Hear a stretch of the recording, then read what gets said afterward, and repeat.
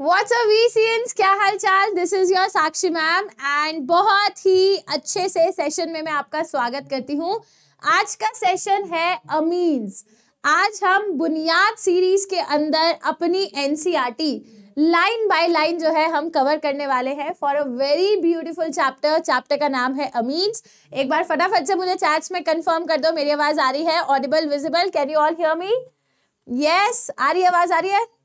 Yes तो आज ना मेरे को थोड़ा सा एक्चुअली सर्दी खांसी हो गया है ठीक है? तो माइंड मत करना है ना? दवाई लेके आई अभी मेरी ना जस्ट एक क्लास खत्म हुई। आ, मेरी वो जो बूस्टर वाला बैच है वो क्लास चल रही थी फिर अभी वो क्लास खत्म हुई। तो मैं ना सोचा कि एक बार केमिस्ट से दवाई लेके आती हूँ तो वो आने जाने में थोड़ा समय लग गया मेरे को ठीक है? एंड दवाई खाई जाती नहीं है फिर उसके दो तीन टुकड़े करके खाया नाक बिल्कुल बंद हो चुका है थोड़ा। तो इसी के चक्कर में थोड़ा लेट हो गया माफ़ कर देना। हाँ जी! भाई साहब, क्या हाल चाल है? जोश एकदम बरकरार है। अच्छा लग रहा है। देखो, आपने इस बुनियाद सीरीज़ के अंदर मेरे साथ तीन चैप्टर्स ऑलरेडी कवर कर लिए हैं। We have done haloalkanes haloarenes we have done alcohol phenol ether we have done aldehyde ketones and carboxylic acid और आज हम अपने चौथे चैप्टर पे आने वाले हैं अमीन्स ये जो चैप्टर है, आपका अमीन्स इसके अंदर कितनी सारी नेम रिएक्शंस हैं। कितने सारे बेसिसिटी के सवाल यहाँ से बनते हैं, कितने सारे फ़िज़िकल प्रॉपर्टी से रिलेटेड सवाल बनते हैं, कितने सारे डिस्टिंक्शन और आइडेंटिफिकेशन के सवाल बनते हैं तो उन सारे सवालों को हम यहाँ पर डिस्कस करेंगे। अच्छा आज वाला सेशन तो सुपर डुपर इंपॉर्टेंट है ही। नो no डाउट आज का सेशन इंपॉर्टेंट है बट जो कल वाला सेशन है ना, वो ज़्यादा इंपॉर्टेंट है। कल हम ना बायो मॉलिक्यूल्स करने वाले हैं।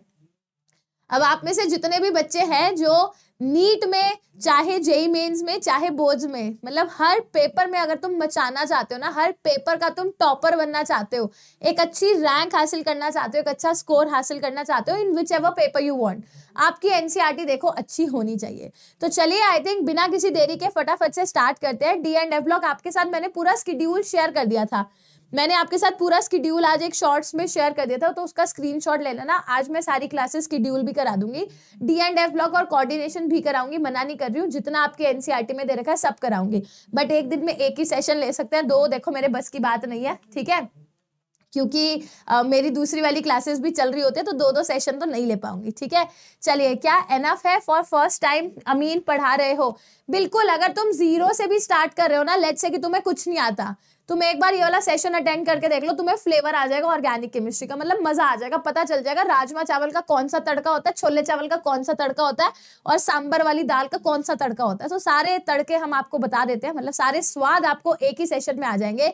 तो जेनविनली आप जो भी बच्चा ज़ीरो से भी स्टार्ट कर रहा है, देखो मैं एनसीईआरटी लाइन बाय लाइन इसलिए पढ़ा रही हूँ, क्योंकि मुझे पता है बहुत सारे बच्चे ऐसे हैं जिनका बेस एकदम खराब है। लास्ट के पेपर के पंद्रह दिन पहले अगर आप तुक्के मार मार के, रट्टे मार मार के पेपर दे आते हो ना, इस बात की कोई गारंटी नहीं है कि पेपर अच्छा जाएगा। और आप हमेशा वर्स्ट केस के लिए प्रिपेयर करो। हो सकता है पेपर टफ आ जाए तो। मतलब आपके बेस तो क्लियर होने चाहिए। तो चाहे you are studying for NEET और you are studying for JEE mains और you are studying for boards और in case you are studying for your state board exam CBSE boards के लिए या फिर बिट साइड के लिए, किसी भी एग्ज़ाम के लिए तैयारी कर रहे हो। अगर आपके एग्ज़ाम का वन ऑफ़ द सिलेबस है अमीन्स ठीक है? तो एनसीईआरटी जो हम आज पढ़ने वाले हैं, आपको बहुत हेल्प करेगी, ठीक है? सो फटाफट से सेशन को लाइक कर दो, जिन बच्चों ने नहीं करा, और जैसा कि आप जानते हो, है ना, हम चाहते हैं कि ये चैनल सब बच्चों तक जाए। सो प्लीज़ मेक श्योर आपके जितने भी व्हाट्सएप ग्रुप्स हैं, जितने भी टेलीग्राम ग्रुप्स में आप एक दूसरे के साथ एसोसिएटेड हो, इस चैनल को और इस सेशन को डेफिनेटली शेयर करना। तो जितना प्यार आपने अभी तक हमें दिया है, इस चैनल को भी और खूब सारा प्यार दे देना। तो बस अब एक लास्ट चीज़ तुमसे मांग लेती हूँ, फिर सेशन को स्टार्ट करूँगी। पिंक कलर के high fives in the chat section भाई साहब पिंक कलर के high fives in the chat section उसके बाद हम सेशन को स्टार्ट करते हैं। एक बच्चे की डिमांड पहले ही आ गया मैम ये बताओ कि कितने आ, अच्छा ये तो निशान सर वाली स्लाइड खुल नहीं ये तो फिजिक्स की स्लाइड खुल गई। पिंक कलर के हाथ आ जाने चाहिए इन द चैट सेक्शन कितनी स्लाइडें हैं? We have a total of 52 slides अब 10 स्लाइड कम है। छोटा चैप्टर है नहीं तो 62 68 होती है। तो आज 52 स्लाइड्स है। पाँच हिस्सों में हम ये चैप्टर खत्म करेंगे। वन से लेके टेन तक, फिर इलेवन से ट्वेंटी ट्वेंटी वन से थर्टी थर्टी वन से फोर्टी फोर्टी वन से फिफ्टी फिफ्टी वन से जो बच जाएगा वो भी कर लेंगे। ठीक है ना? हाँ जी। तो ये हो गए खूब सारे पिंक कलर के high fives in the chat section let us get started with the chapter amines series का नाम बुनियाद सीरीज़ एनसीआरटी का वन शॉट है। चैप्टर आज जो हम पढ़ने वाले हैं वो है अमीन्स सबसे पहले मैं आपको बताती हूँ अमीन्स होता क्या है, कहाँ से आए। मान लो अगर आपके पास अमोनिया अब ये चीज़ कभी तुमने गौर नहीं करी होगी, मगर मैं तुम्हें बताऊँगी। अमोनिया का स्पेलिंग पता क्या होता है? A double M O N I A ammonia ammonia के एक हाइड्रोजन को हटाकर अगर आपने एक आर ग्रुप या अराइल ग्रुप लगा दिया, ये कहलाता है अमीन्स अमीन्स में सिंगल एम आता है, ना कि डबल एम आता है, ठीक है?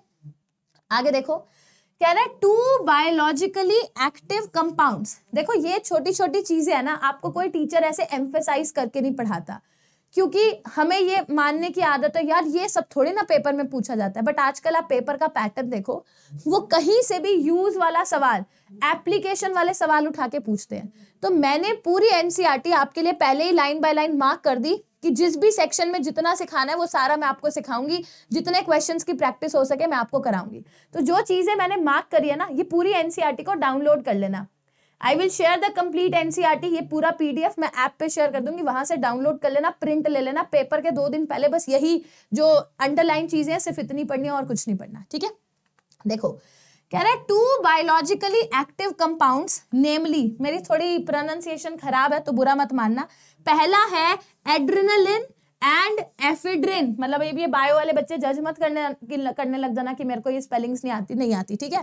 कह रहे ये दो जो हमारे कंपाउंड्स हैं both containing secondary amino group are use to increase blood pressure हमारे ब्लड प्रेशर को इंक्रीज करने के लिए जो दो कंपाउंड्स यूज़ होते हैं, उनके अंदर अमीनो ग्रुप है, ठीक है ना? सेकेंडरी अमीनो ग्रुप है। आगे देखो, कह रहे नोवोकेन एक सिंथेटिक अमीनो कंपाउंड है and it is use as anaesthetic in dentistry dentistry में एनेस्थेटिक के रूप में यूज़ होता है, जो कंपाउंड है, उसका नाम है नोवोकेन आजकल मैच द फॉलोइंग बड़े प्रचलित है।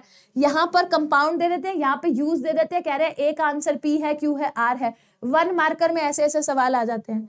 कह रहे Benadryl a well known anti histaminic drug also contains tertiary amino group और जो क्वाटरनरी अमोनियम सॉल्ट है these are use as surfactants ये हमारा एक चैप्टर हुआ करता था केमिस्ट्री इन एवरीडे लाइफ वहाँ पर ही पहले ये सारी चीज़ें डिटेल में आती थी, अब नहीं आती है. बट क्योंकि इस चैप्टर में दे रखे हैं तो कहीं से भी पूछा जा सकता है. तो ये रट्टे नहीं मारने हैं. एटलीस्ट एक बार पढ़ रखा होगा तो आपको थोड़ा सा आइडिया लगेगा, अगर कल को पेपर में आ जाए तो कैसे आंसर करना है. पहले पन्ने में इसके अलावा आपको दोबारा कुछ रटने की ज़रूरत नहीं है। अब मैं अगर सिंपल सी बात करूँ, मान लो जैसे मेरे पास ये है अमोनिया। अगर अमोनिया के एक हाइड्रोजन को हटाकर मैंने आर ग्रुप लगाया, ये मेरा प्राइमरी अमीन कहलाएगा। अगर मैंने दो हाइड्रोजन को हटाकर के दो आर ग्रुप लगाए, ये सेकेंडरी अमीन कहलाएगा। अगर मैंने तीनों के तीनों हाइड्रोजन हटा करके आर ग्रुप लगाए, ये मेरा टर्शरी अमीन कहलाएगा। और अगर मान लो मेरे पास चार ग्रुप्स हैं, चार आर ग्रुप्स तो ये कहलाएगा R four N positive X minus इसको हम बोलते हैं क्वार्टरनरी अमोनियम सॉल्ट बनता कैसे, अभी सब सिखाया जाएगा। अगर मैं अमीन्स के स्ट्रक्चर की बात करूँ, आप कोई भी अमीन का एक स्ट्रक्चर उठा लीजिए, आपको दिखेगा नाइट्रोजन पे मैम एक लोन पेयर है और तीन सिग्मा बॉन्ड है, यानी कि टोटल नंबर चार। तो हाइब्रिडाइजेशन sp3 यहाँ पर भी देखिए एक लोन पेयर है, तीन सिग्मा बॉन्ड है। एक लोन पेयर तीन सिग्मा बॉन्ड एक लोन पेयर तीन सिग्मा बॉन्ड तो हर एक केस में हाइब्रिडाइजेशन sp3 है। अब ध्यान से देखिए। अगर sp3 हाइब्रिडाइज है तो इसकी शक्ल क्या होनी चाहिए? टेट्राहेड्रल होनी चाहिए। मगर क्योंकि मेरे पास एक लोन पेयर है और इनकी फ़ोटो खींचो तो लोन पेयर फ़ोटो में खिंचता नहीं है। यानी कि मेरे पास जो शेप हो जाएगी, वो क्या हो जाएगी? पिरामिडल एनसीआरटी के दूसरे पन्ने में इतना ही एक्सप्लेन कर रखा है, इससे ज़्यादा आपको कुछ पढ़ना नहीं है। अब मैं आपको एक बात बताती हूँ। आपको पता है, अगर मैं बात करती हूँ मीथेन की तो मीथेन के अंदर मेरा जो बॉन्ड एंगल है, वो होना चाहिए कितना? 109 डिग्री 28 मिनट्स। यानी कि अगर आपकी हाइब्रिडाइजेशन sp3 है तो बॉन्ड एंगल कितना होना चाहिए? 109 डिग्री 28 मिनट, ठीक है? मगर अगर मैं बात करती हूँ अमोनिया की अब बेचारे, अमोनिया के केस में क्या होता है? ध्यान से देखना। अमोनिया के केस में लोन पेयर ज़्यादा जगह लेगा। जब लोन पेयर फूलेगा, ज़्यादा जगह लेगा तो वो इसको धक्का मारेगा, इसको धक्का मारेगा। यानी कि जो एंगल 109 डिग्री 28 मिनट्स होना चाहिए था, वो स्क्वीज होके कितना हो जाता है? 160 डिग्री। ये बच्चे बच्चे को पता है। मगर बच्चे बच्चे को ये नहीं पता कि अमीन के अंदर का एंगल ज़्यादा क्यों होता है। देखो, उन्होंने क्लियर दे रखा है कह रहे due to the presence of unshared pair of electron the angle C N E where E is carbon और hydrogen is less than 109 degree for instance it is 108 degree in case of tri methyl amine अब चाहे आपका NEET का paper हो या JEE का paper हो, वो ये कहता है कि ट्राई इथाइल अमीन का बॉन्ड एंगल प्रिडिक्ट करो किससे ज़्यादा है किससे कम है। वहाँ तुम्हें बल भी नहीं चमकता। तुम्हें लगता है कि डेटा ओरिएंटेड क्वेश्चन क्यों दिया? डेटा ओरिएंटेड क्वेश्चन इसलिए दिया क्योंकि एनसीआरटी में लिखा हुआ था। समझ रहे हो? अब देखो, नाइ, अगर अमोनिया होता तो हाइड्रोजन निके निके होते, उनको स्क्वीज करना आसान था। मगर अब आपने नाइट्रोजन के ऊपर तीन मिथाइल ग्रुप लगा दिए। अब जब आपने नाइट्रोजन के ऊपर तीन मिथाइल ग्रुप लगाए और लोन पेयर भी लगाया तो लोन पेयर कहता है कि एंगल होना चाहिए 160 डिग्री, इनको पास करो। मिथाइल कहते नहीं, हम तो मोटे मोटे हैं, हमें ज़्यादा जगह चाहिए, हम दूर जाएँगे। तो एंगल कितना आ जाता है? 108 डिग्री। 109 से कम है, क्योंकि लोन पेयर ज़्यादा जगह लेगा। मगर 107 से ज़्यादा है, क्योंकि मिथाइल बड़े बड़े हैं, एक दूसरे को धक्का मारेंगे दूर दूर हो जाएगा। क्या ये कहानी सबको चमकी? क्लियर है? भाई साहब, ये जो छोटा सा पॉइंट था ना, मैं तुम्हें लिख कर दे सकती हूँ कि अगर तुम नीट या जेई का पेपर दे रहे हो, या तुम बिट सैट का पेपर दे रहे हो, यही सवाल पेपर में आते हो और तुम कहते हो, पता नहीं कहाँ से आया एनसीआरटी का सवाल आता है। ये निकी निकी चीज़ें एनसीआरटी में बहुत प्यारी दे रखी है। अब क्लासिफिकेशन की बात करते हैं। क्या ना, देखो, ये जैसे कि ये मैं ऑलरेडी सिखा चुकी हूँ। अमोनिया अमोनिया के एक हाइड्रोजन को हटा के आर बनाओ प्राइमरी अमीन अगर देखो, दोनों आर ग्रुप लगाए, एक हाइड्रोजन बचा सेकेंडरी अमीन एन के ऊपर तीन आर ग्रुप है, इसको बोलेंगे टर्शरी अमीन ये सिंपल सी बात है प्राइमरी सेकेंडरी टर्शरी ये छोटे बच्चों की बात है। नॉमेन बड़े कमाल की है। आयुपेक नॉमेन तुम्हें पता है, मैं सिखाती हूँ।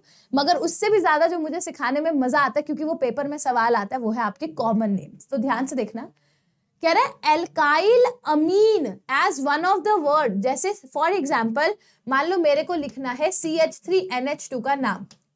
मैं कॉमन नेम बताऊँगी पहले। कॉमन नेम होता है, जैसे ये क्या है? ये था मीथेन। तो मीथेन पे NH2 लगाने का मतलब ये बन गया मिथाइल अमीन। कॉमन नेम आने ज़रूरी है, मिथाइल अमीन। आगे देखो, कह रहे अगर इसी का आयुपेक नेम लिखूं तो ये क्या है? मिथेन मिथेन, और वन पोजीशन पे अमीन है तो इसका नाम क्या हो जाएगा? ई e और ए साथ साथ नहीं आ सकता, इसका नाम हो जाएगा मिथेनामीन। इकट्ठे भी लिख सकते हो, मिथेन वन अमीन भी लिख सकते हो। चमका, अब ध्यान से देखो। यहाँ पे एक छोटी सी लाइन दे रखी है। कह रहे हैं N H two C H two C H two N H two सब बच्चे इसका कॉमन और आयुपैक नेम मेरे साथ साथ बोलोगे, लिखोगे। तुम्हें मैं इतना, है ना, निश्चिंत करती हूँ, अगर तुमने इस वन शॉट को बड़े ध्यान से देखा, तुम्हें लेटर ऑन एक लॉन्ग रन में ये बहुत काम की चीज़ लगेगी। तुम लिटरली कहोगे, मैम, हमारे पेपर में डायरेक्ट सवाल एनसीआरटी से उठ के आए हैं। इस बार भी तुमने देखा जेई के पेपर में लास्ट ईयर देखा नीट के पेपर में डायरेक्ट डायरेक्ट सवाल पेपर एनसीआरटी से आते हैं। वो एनसीआरटी इतनी बारीक करोगे तभी मज़ा आता है। चलो इसका नाम लिख के बताओ। पहले हम आयुपैक नेम लिखेंगे। आयुपैक में क्या करेंगे? इसको वन दो, इसको टू दो। तो इसका नाम क्या हो जाएगा? Ethane one comma two di amine इसका नाम क्या हो जाएगा? Ethane one two di amine अब ये ई e और ये डी है तो कट करने की ज़रूरत नहीं है। अब मैं इसका कहूँ, चलो तुम मुझे कॉमन नेम बताओ। इसका कॉमन नेम कैसे बताएँगे? ध्यान से सोचो। इसका मुझे कॉमन नेम बताना पहले तुमने इसका आयुपेक नेम सीख लिया इथेन वन टू डायमीन अब मेरे को ये है कि, चलो ठीक है, इसका कॉमन नेम अभी आगे दोबारा कराऊँगी। थोड़ा सा और कॉमन नेम के बारे में सिखा देते हैं। पहले टेबल सीखते हैं, फिर इस पे आएँगे। अब ध्यान से देखो। मान लो मेरे पास है, ध्यान से देखना। मान लो मेरे पास है सी पे एन है, यहाँ सी है सी है। अब मैंने तुम्हें कहा, इसका पहले तो कॉमन नेम और आयुपैक नेम लिख के बताओ। तो आयुपैक कैसे लिखेंगे? वन और टू इथेन है। इथेन वन अमीन और यहाँ पर ध्यान से देखो एन पे क्या लिखा हुआ है? एन पे लगा हुआ मिथाइल तो इसका नाम हो जाएगा एन पे मिथाइल इथेनामीन समझे? एन पे इथाइल इथेनामीन अब ध्यान से देखो, अब मैं कहूँ, इसका आयुपैक नेम लिख के बताओ। एन पे ये भी है, ये भी है, ये भी है। पहले मेन चेन सेलेक्ट करो। मेन चेन में कितने कार्बन आइटम दो। तो वन टू इसका नाम हो जाएगा इथेन वन अमीन मगर इस नाइट्रोजन पे दो इथाइल लगे हुए हैं। तो इसका नाम हो जाएगा N N di ethyl ethanamine देखो, इसका नाम है N N di ethyl ethanamine क्या ये बात सबको चमक रही है? ये बातें चमक रही है? आगे देखो, क्या लिख रहे हो? एग्जैक्टली exactly मतलब है ना? कौन है? भाई टाइम वेस्ट कर रही है मैम भाग लो। हाँ हाँ जिसका टाइम वेस्ट हो रहा है, यार, चले जाओ, कोई दिक्कत नहीं है। है ना? किसी भी बच्चे को अंदर से ये फील आ रहा हो कि साक्षी मैम टाइम वेस्ट कर रही है तो प्लीज़ यार, है ना? तुम भी जाओ, दो चार और को भी ले जाओ we are very much okay यहाँ पे चाहे दस बच्चे भी रहेंगे ना, मैं जितने शिद्दत से पढ़ाऊँगी, यार, वो मुझे पता है, ठीक है? I am a very decent and hard working teacher तो जिसको भी लग रहा है ना, यार टाइम वेस्ट कर रही है मैम प्लीज़ चल जाओ। मुझे बड़ा अच्छा लगेगा, यार, मेरे को दस बच्चे देख रहे हैं, मगर वो शिद्दत से बच्चा पढ़ाई करने वाला ना, मेरे को बस उससे मतलब है, ठीक है? पूरी दुनिया का ठेका मैंने थोड़ी ना ले रखा, सीधी सी बात है। आगे देखो, ध्यान से देखो, बहुत सुंदर सी चीज़ है। मान लो मेरे पास बेंजीन है बेंजीन पे है NH2 तो इसको बोलते हैं बेंजीन वन अमीन क्या बोलेंगे? बेंजीन वन अमीन इसका दूसरा नाम है बेंजामीन पेपर से पहले सिर्फ़ ये जो सुंदर सुंदर मैं चित्र इस पर ड्रॉ कर रही हूँ, अगर इतने चित्र भी करके चल जाओगे, काम बन जाएगा। सिर्फ़ इतना ही पढ़ना, ये सारे आगे पीछे की सारी चीज़ें छोड़ देना। भाई साहब, मेरी फेवरेट चीज़ आ गई। मतलब मुझे पूरी एनसीआरटी में ना ये टेबल बहुत पसंद आती है। देखो कॉमन भी सीखेंगे, आयुपैक भी सीखेंगे। वन टू इसका नाम है इथेनामीन, और इसको क्या बोलेंगे? Ethyl amine. Ethanamine, ethyl amine. One two three propanamine propanamine propyl amine, propanamine, propyl amine. अब ये मेरा बेस्टम बेस्ट एग्ज़ाम्पल है है ना? ये मेरा बेस्टम बेस्ट एग्ज़ाम्पल है, देखो, ये है, कह रहा है सी पे सी पे सी पे एन एच टू अब पहले तो इसका आयुपैक आयुपैक मतलब वन टू थ्री तो propane two amine propane two amine अब कॉमन नेम कैसे बोलते थे? इथाइल अमीन तो क्या मैं इसको बोल दूँ? देखो, ऐसे नज़र आ रही है? ऐसे। क्या मैं इसको आइसोप्रोपाइल अमीन बोल दूँ? क्या मैं इसको आइसोप्रोपाइल अमीन बोल दूँ? इस पे वीसी का बल्ब बना लो, बहुत इंपॉर्टेंट है, चमकना चाहिए पेपर में डायरेक्ट सवाल आता है। आगे देखो, इसका नाम, ये भी हमने कर लिया वी हैव ऑलरेडी डन इसका कॉमन नेम सिखा देती हूँ। एन पे मिथाइल भी है एन पे इथाइल भी है। तो इसको क्या लिखेंगे? ई e पहले आता है। तो इसका नाम होगा इथाइल मिथाइल अमीन क्या नाम है? इथाइल मिथाइल अमीन चमक रहा है। आगे ये देखो, ये क्या हो जाएगा? यहाँ पे simple methanamine N N di methyl methanamine N N di methyl methanamine और इसका वैसे कॉमन नेम क्या होगा? Tri methyl amine tri methyl amine चमक रहा है। ये सिंपल है, ये तुम कर लोगे, इसमें कुछ दिमाग नहीं लगाना। भाई साहब बेस्ट ऑफ़ बेस्ट मतलब I am in love with this question मैं इसीलिए कहती हूँ कि ऑर्गेनिक पढ़ने की सबसे बड़ी अच्छी चीज़ ये है कि सबसे पहले आप एनसीआरटी e पढ़ो। मतलब ऑर्गेनिक से प्यार करना आसान नहीं है। ठीक है? और अगर एनसीआरटी e को ढंग से पढ़ा तो मज़ा आ जाएगा। ये देखो, ये कितना प्यारा है। पहले मैं इसका कॉमन नेम लिखती हूँ। कॉमन नेम मैम ने सिखाया, जैसे इथाइल अमीन। NH2 दिखा तो अमीन। अगर ये इथाइल होता तो इथाइल अमीन। हमने कल की क्लास में सीखा, इसको एलाइल बोलते हैं। सीखा ना? डबल बॉन्ड के बाजू वाला कार्बन एलाइल। ये पूरा क्या था? एलाइल। तो क्या मैं इसका नाम एलाइल अमीन रख दूँ? इस पे वीसी का बल्ब बनाओ बहुत इंपॉर्टेंट चमकना चाहिए। एलाइल अमीन पेपर में यही आएगा अलाइल अमीन में कितने नाइट्रोजन एटम है? अलाइल अमीन में कितने नाइट्रोजन एटम की हाइब्रिडाइजेशन sp2 है? जब तक तुम्हें अलाइल अमीन बनाना नहीं आएगा तो, तो तुम हाइब्रिडाइजेशन कहाँ से निकालोगे? आगे देखो मैंने क्या सिखाया था? मैंने ये सिखाया था कि पहले पूरी चेन में जो बाहुबली है यानी कि जो मेन फंक्शनल ग्रुप है उसको ढूंढो। तो हमारा मेन फंक्शनल ग्रुप क्या है? NH2 इसको ढूंढो। तो इस कार्बन को वन रखो टू रखो थ्री रखो। अब simple prop two in one amine prop two in one amine इसको मार्क कर लो हरे वाले को। है ना? ये सुपर सुपर सुपर इंपॉर्टेंट है। इसको मार्क कर लो सुपर इंपॉर्टेंट है। ये सस्ता है। इसको एनिलीन बोलते हैं। एनिलीन ही आपका आयुपैक नेम भी है। बेंजामीन भी आपका आयुपैक नेम दोनों ही आयुपैक में कंसीडर है। आगे की कहानी सुनिए। अभी खत्म नहीं हुई है कहानी। या देखो, इसको बोलते हैं एनिलीन। क्या बोलेंगे? एनिलीन। एनिलीन पे सी एच थ्री है तो उसका नाम हो गया टू मिथाइल एनिलीन सॉर्टेड है। और इसी मिथाइल एनिलीन को, अगर मिथाइल ऑर्थो पोजिशन पे है, इसको बोलते हैं टोलुइडीन टोलुइडीन मेरी प्रोनाउंसिएशन खराब है। मगर समझ गए? टोलुइडीन क्या? टोल्यूडीन मतलब टोलुइन और एनिलीन नाम मिलके क्या बन गया? टोल्यूडीन ये एनिलीन, ये टोलुवीन नाम मिलके क्या बन गया? टोलुइडीन ऑर्थोटोलुइडीन मेरी स्पेलिंग मतलब प्रोनाउंसिएशन थोड़ी माड़ी है, मुझे माफ़ करना, ठीक है? ये पेपर में नहीं चमकता। बच्चे को लिखा हुआ मिलता है टॉल्यूडिन, ऑर्थो, ऑर्थोटोल्यूडिन की N NO two H C L के साथ रिएक्शन करो zero two five degree C पे, फिर ए बनेगा ए में H three P O two डालो बी बनेगा। वो बेचारा कर ही नहीं पाता। उसको नाम ही नहीं याद थे तो कैसे करेगा?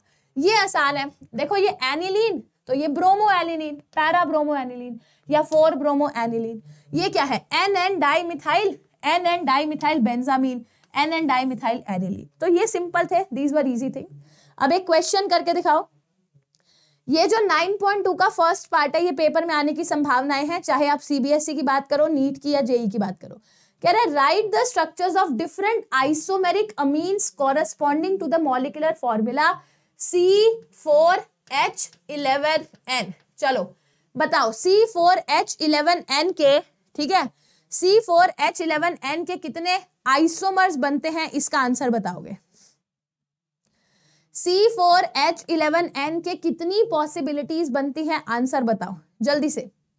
आंसर बताओ, कितना प्यारा सवाल है। मतलब मैं कहती हूँ, बहुत ही बहुत ही सुंदर और प्यारा सा सवाल है। इसके जितने भी पॉसिबल आइसोमर्स बनते हैं, पहले आप वो बनाओ।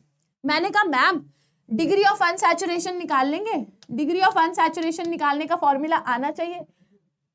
डिग्री ऑफ़ अनसैचुरेशन निकालोगे ज़ीरो आ जाएगा। अब जब भी नाइट्रोजन के आइसोमर्स की बात आए तो आप प्राइमरी, सेकेंडरी, टर्शरी अमीन पूरा सोचोगे। मैंने कहा, मैम, प्राइमरी अमीन बनाते हैं सबसे पहले। प्राइमरी अमीन में या तो चार कार्बन एटम स्ट्रेट चेन में लगाओ, एक NH2 यहाँ लगाओ। ये मेरा प्राइमरी अमीन बन गया, दिख गया। मैंने कहा, मैम, अमीन होना चाहिए प्राइमरी। मतलब यहाँ पर ही होना चाहिए। या तो आप सेकंड कार्बन एटम यहाँ लगा दो। अमीन होना चाहिए प्राइमरी सेकंड कार्बन एटम आप यहाँ लगा दो। ये चमक गया सबको प्राइमरी अमीन क्या है? अगला मैम अमीन होना चाहिए प्राइमरी प्राइमरी का मतलब जिस कार्बन से, देखो प्राइमरी अमीन का मतलब NH2 तो फिक्स होना ही चाहिए। मैंने कहा कार्बन को आप यहाँ पे लगा दो this is also primary amine तो मेरे पास तीन केसेस बने प्राइमरी इन क्वेश्चंस का कोई शॉर्टकट नहीं है। पेपर में यही आएगा C four H eleven N का। आप मुझे बताओ टोटल कितने आइसोमर्स पॉसिबल है? पहले प्राइमरी अमीन बनाओगे, जितने भी पॉसिबल अब कई बच्चों को लगता है कि ये तो सेकेंडरी अमीन है। क्यों? क्योंकि नाइट्रोजन जिस कार्बन से जुड़ा है, वो दो कार्बन से जुड़ा है। अरे भैया प्राइमरी अमीन मतलब R N H two N H two group का आना मतलब प्राइमरी अमीन है। ये कई बच्चों को कंफ्यूजन होती है तो कंफ्यूजन होनी नहीं चाहिए। ये बात सबको अच्छे से चमक रही है। फिर मैंने कहा, चलो मैम, ये प्राइमरी अमीन के केसेस अभी सेकेंडरी भी बनाऊँगी टर्शरी पहले टर्शरी बना सकते हैं। टर्शरी मतलब कार्बन यहाँ पर नाइट्रोजन है, ठीक है? यहाँ कार्बन है, यहाँ कार्बन है, यहाँ कार्बन है। क्या मेरे पास टर्शरी अमीन आ गया?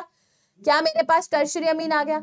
अच्छा एक और कोई प्राइमरी की पॉसिबिलिटी है? मैंने कहा, मैम, एक मिनट कार्बन कार्बन कार्बन और NH2 भाई लोगों, ये भी प्राइमरी अमीन है। नज़र आ रहा है, चलो टर्शरी बाद में बनाएँगे एक साथ। टर्शरी को बाद में बनाएँगे, पहले प्राइमरी से स्टार्ट करो। प्राइमरी अमीन किसी को कोई प्रॉब्लम है? प्राइमरी अमीन के अंदर किसी को कोई प्रॉब्लम है? प्राइमरी अमीन क्लियर है? अब मैंने कहा, चलो सेकेंडरी बनाए। सेकेंडरी मतलब एक मेरे पास एच ग्रुप होना चाहिए, दो आर ग्रुप टोटल कितने हैं? चार। मैंने कहा, एक और दो, तीन, चार। क्या आपको ये सेकेंडरी अमीन नज़र आया? सारे चैट में आंसर लिखते जाओ चैटों में आंसर आने चाहिए। ये नज़र आया। फिर मैंने कहा, मैम सेकेंडरी अमीन में क्या ये पॉसिबिलिटी है? एनएच मैंने फिक्स कर दिया। तीन कार्बन एक साइड कर दो। एक कार्बन एक साइड कर दो। क्या ये सेकेंडरी अमीन की पॉसिबिलिटी सबको नज़र आ रही है? ऑल गुड है? पॉसिबिलिटी नज़र आ रही और कुछ सोचो, या तो टू इज़ टू टू हो जाए, या थ्री इज़ टू है ना? या थ्री इज़ टू आपका सिंपल हो जाए वन कोई और पॉसिबिलिटी है? मैंने कहा, मैम, ये तीन कार्बन एटम है। क्या ये तीन कार्बन एटम आप ऐसे ज्वाइन कर सकते हो? अरे भैया, क्या ये भी सेकेंडरी अमीन है? जल्दी से बताओ। क्या ये भी सेकेंडरी एक, दो, तीन, चार। चार तो हो गए मेरे प्राइमरी अमीन। तीन मेरे हो गए सेकेंडरी अमीन। चार और तीन, सात। और एक सिंपल सा केस बना लेना टर्शरी अमीन। का एन सी सी सी सी और कोई केस नहीं बनेगा। टोटल आठ बनने चाहिए। चेक कर लो। टोटल आठ बन रहे हैं? आठ टोटल मज़ा आया? ठीक है? थ्री वन वाले में one more case very good समझ गए? मैंने क्या किया? मैंने ना, देखो, मैंने ऐसे रैंडम नहीं बनाए। मैंने कहा, पहले प्राइमरी अमीन मैंने NH2 फिक्स कर दिया। इन्हीं में सबसे ज़्यादा बच्चों को प्रॉब्लम होती है NH2 फिक्स कर दिया। NH2 में मैंने चार कार्बन एटम स्ट्रेट चेन में चिपकाए। फिर मैंने कहा, तीन स्टेट में चिपकाओ, एक यहाँ चिपकाओ। NH2 फिक्स है ना? तीन स्टेट में चिपकाओ, एक यहाँ चिपकाओ। NH2 फिक्स है ना? तो दो स्टेट में चिपकाओ, दो यहाँ। तो चार तो प्राइमरी सेकेंडरी में मैंने कहा NH फिक्स कर दो NH फिक्स कर दो। तो या तो टू इज़ टू टू कर दो, या थ्री इज़ टू वन कर दो। थ्री में एक और केस बन गया इज़ टू वन कर दो। और टर्शरी में वन वन थ्री टू कर दो। बेस्ट क्वेश्चन है। दुनिया इन क्वेश्चंस को ऐसे नकार देती है कि हाँ ये कौन करता है सवाल? मगर ये बहुत ब्यूटीफुल सवाल है। चाहे जेई का पेपर हो, चाहे नीट का पेपर हो, जिस दिन सवाल पेपर में आता है ना, बच्चे फंस जाते आठ आंसर ही नहीं आता, कोई ना कोई केस छूटता है। न्यूमेरिकल और इंटीजर टाइप में ऐसे सवाल आते हैं, बहुत प्यारा। तुक्के नहीं मारने, कोई शॉर्टकट नहीं है। स्टेप बाय स्टेप करना चलो, अगला मैं सवाल बताती हूँ। थोड़ी आज आवाज़ पे मत जाना मतलब मेरा लिटरली नाक वाक बंद है, गला ठीक है? थोड़ा खराब है। तो आज शक्ल सूरत पे, है ना? मत जाना। बस पढ़ाने की शिद्दत पे जाना। पढ़ाऊँगी अच्छा। क्वालिटी में कॉम्प्रोमाइज नहीं करूँगी। शक्ल अकल में जैसे मर्ज़ी कॉम्प्रोमाइज हो जाए, ठीक है? सामने देखो। कह रहा है प्रिपरेशन ऑफ़ अमीन्स अमीन्स की प्रिपरेशन सबसे पहले मैं एनिलीन की प्रिपरेशन के बारे में बात करती हूँ, जो मोस्ट इंपॉर्टेंट है। सुनना, क्या आपको पता है बेंजीन के अंदर, हमने ये सीखा अभी पिछले सेशंस में कॉन्सेंट्रेटेड नाइट्रिक एसिड डालते हैं। कॉन्सेंट्रेटेड H2SO4 की प्रेजेंस में। क्या आपको याद है नाइट्रोबेंजीन बनता है? बहुत सारे ऐसे सवाल होते हैं जहाँ नाइट्रोबेंजीन को एनिलीन में कन्वर्ट करते हैं। तो या तो आप डालते हैं हाइड्रोजन, पेलेडियम NiPTPD की प्रेजेंस में, या फिर आप रिएक्शन कराते हैं tin in the presence of HCl के साथ, या फिर आप रिएक्शन कराते हैं iron in the presence of HCl metal in the presence of HCl तो देखो नाइट्रो ग्रुप को हाइड्रोजन, पैलेडियम, एथेनॉल की प्रेजेंस में एनिलीन बनेगा। नाइट्रो ग्रुप को टिन एचसीएल या आयन एचसीएल लोगे एनएच2 बन जाएगा। ये मैक्सिमम आपको आता है। अब बात आई मैम बोर्ड एग्ज़ाम्स में वन मार्कर क्वेश्चन में हम फंस जाते हैं। तो देखो ये छोटी सी लाइन है, यही आपका वन मार्कर सवाल होता है। और और बताती हूँ, आपके जो पेपर में एसर्शन रीजन के सवाल नहीं आते हैं, वो यही से ही तो बनते हैं, कहीं और से थोड़े ना उठाए जाते हैं। कह रहे reduction with iron scrap and hydrochloric acid मतलब एफ़ HCl के साथ रिडक्शन करते हो। This is preferred because FeCl2 formed get hydrolyzed to release hydrochloric acid कह रहे F plus H C L की जब आप रिएक्शन कराते हो तो एफ़ टू बनता है। एफ़ टू के बनने के तुरंत बाद जब आप उसकी हाइड्रोलिसिस कराते हो तो वापिस से एच बन जाता है। During the reaction, thus only a small amount of hydrochloric acid is required to initiate the reaction. केवल शुरू शुरू में रिएक्शन को इनिशिएट करने के लिए थोड़ा सा आप HCl डालते हैं। बाद में तो जैसे जैसे FeCl2 बनता जाता है, उसकी हाइड्रोलिसिस होगी HCl निकलता जाएगा रिएक्शन आगे जाती जाएगी। तो शुरू में ही केवल थोड़ा सा HCl डालना पड़ता है, इसीलिए Fe in the presence of HCl वाली रिएक्शन को हम ज़्यादा फ़ायदेमंद मानते हैं। समझ गए? अगली रिएक्शन है, इसका मतलब है अमोनोलिसिस ऑफ़ एल्काइल हलाइड तुम्हें पता है लिसिस मतलब तोड़ना. जैसे तुम किसी का दिल तोड़ देते हो ब्रेकअप हो जाता है ना, टूट गए, तुम्हारा रिश्ता टूट गया तो लिसिस हो गया. किसने लिसिस कराई? अमोनिया ने. तो इसको बोलते हैं अमोनोलिसिस अमोनिया ने तोड़ा किसको? एल्काइल हलाइड को. देखो this process of cleavage of C X bond by ammonia molecule is known as ammonolysis कई बच्चों को ये लगता है अमोनोलिसिस मतलब अमोनिया का टूटना। नहीं।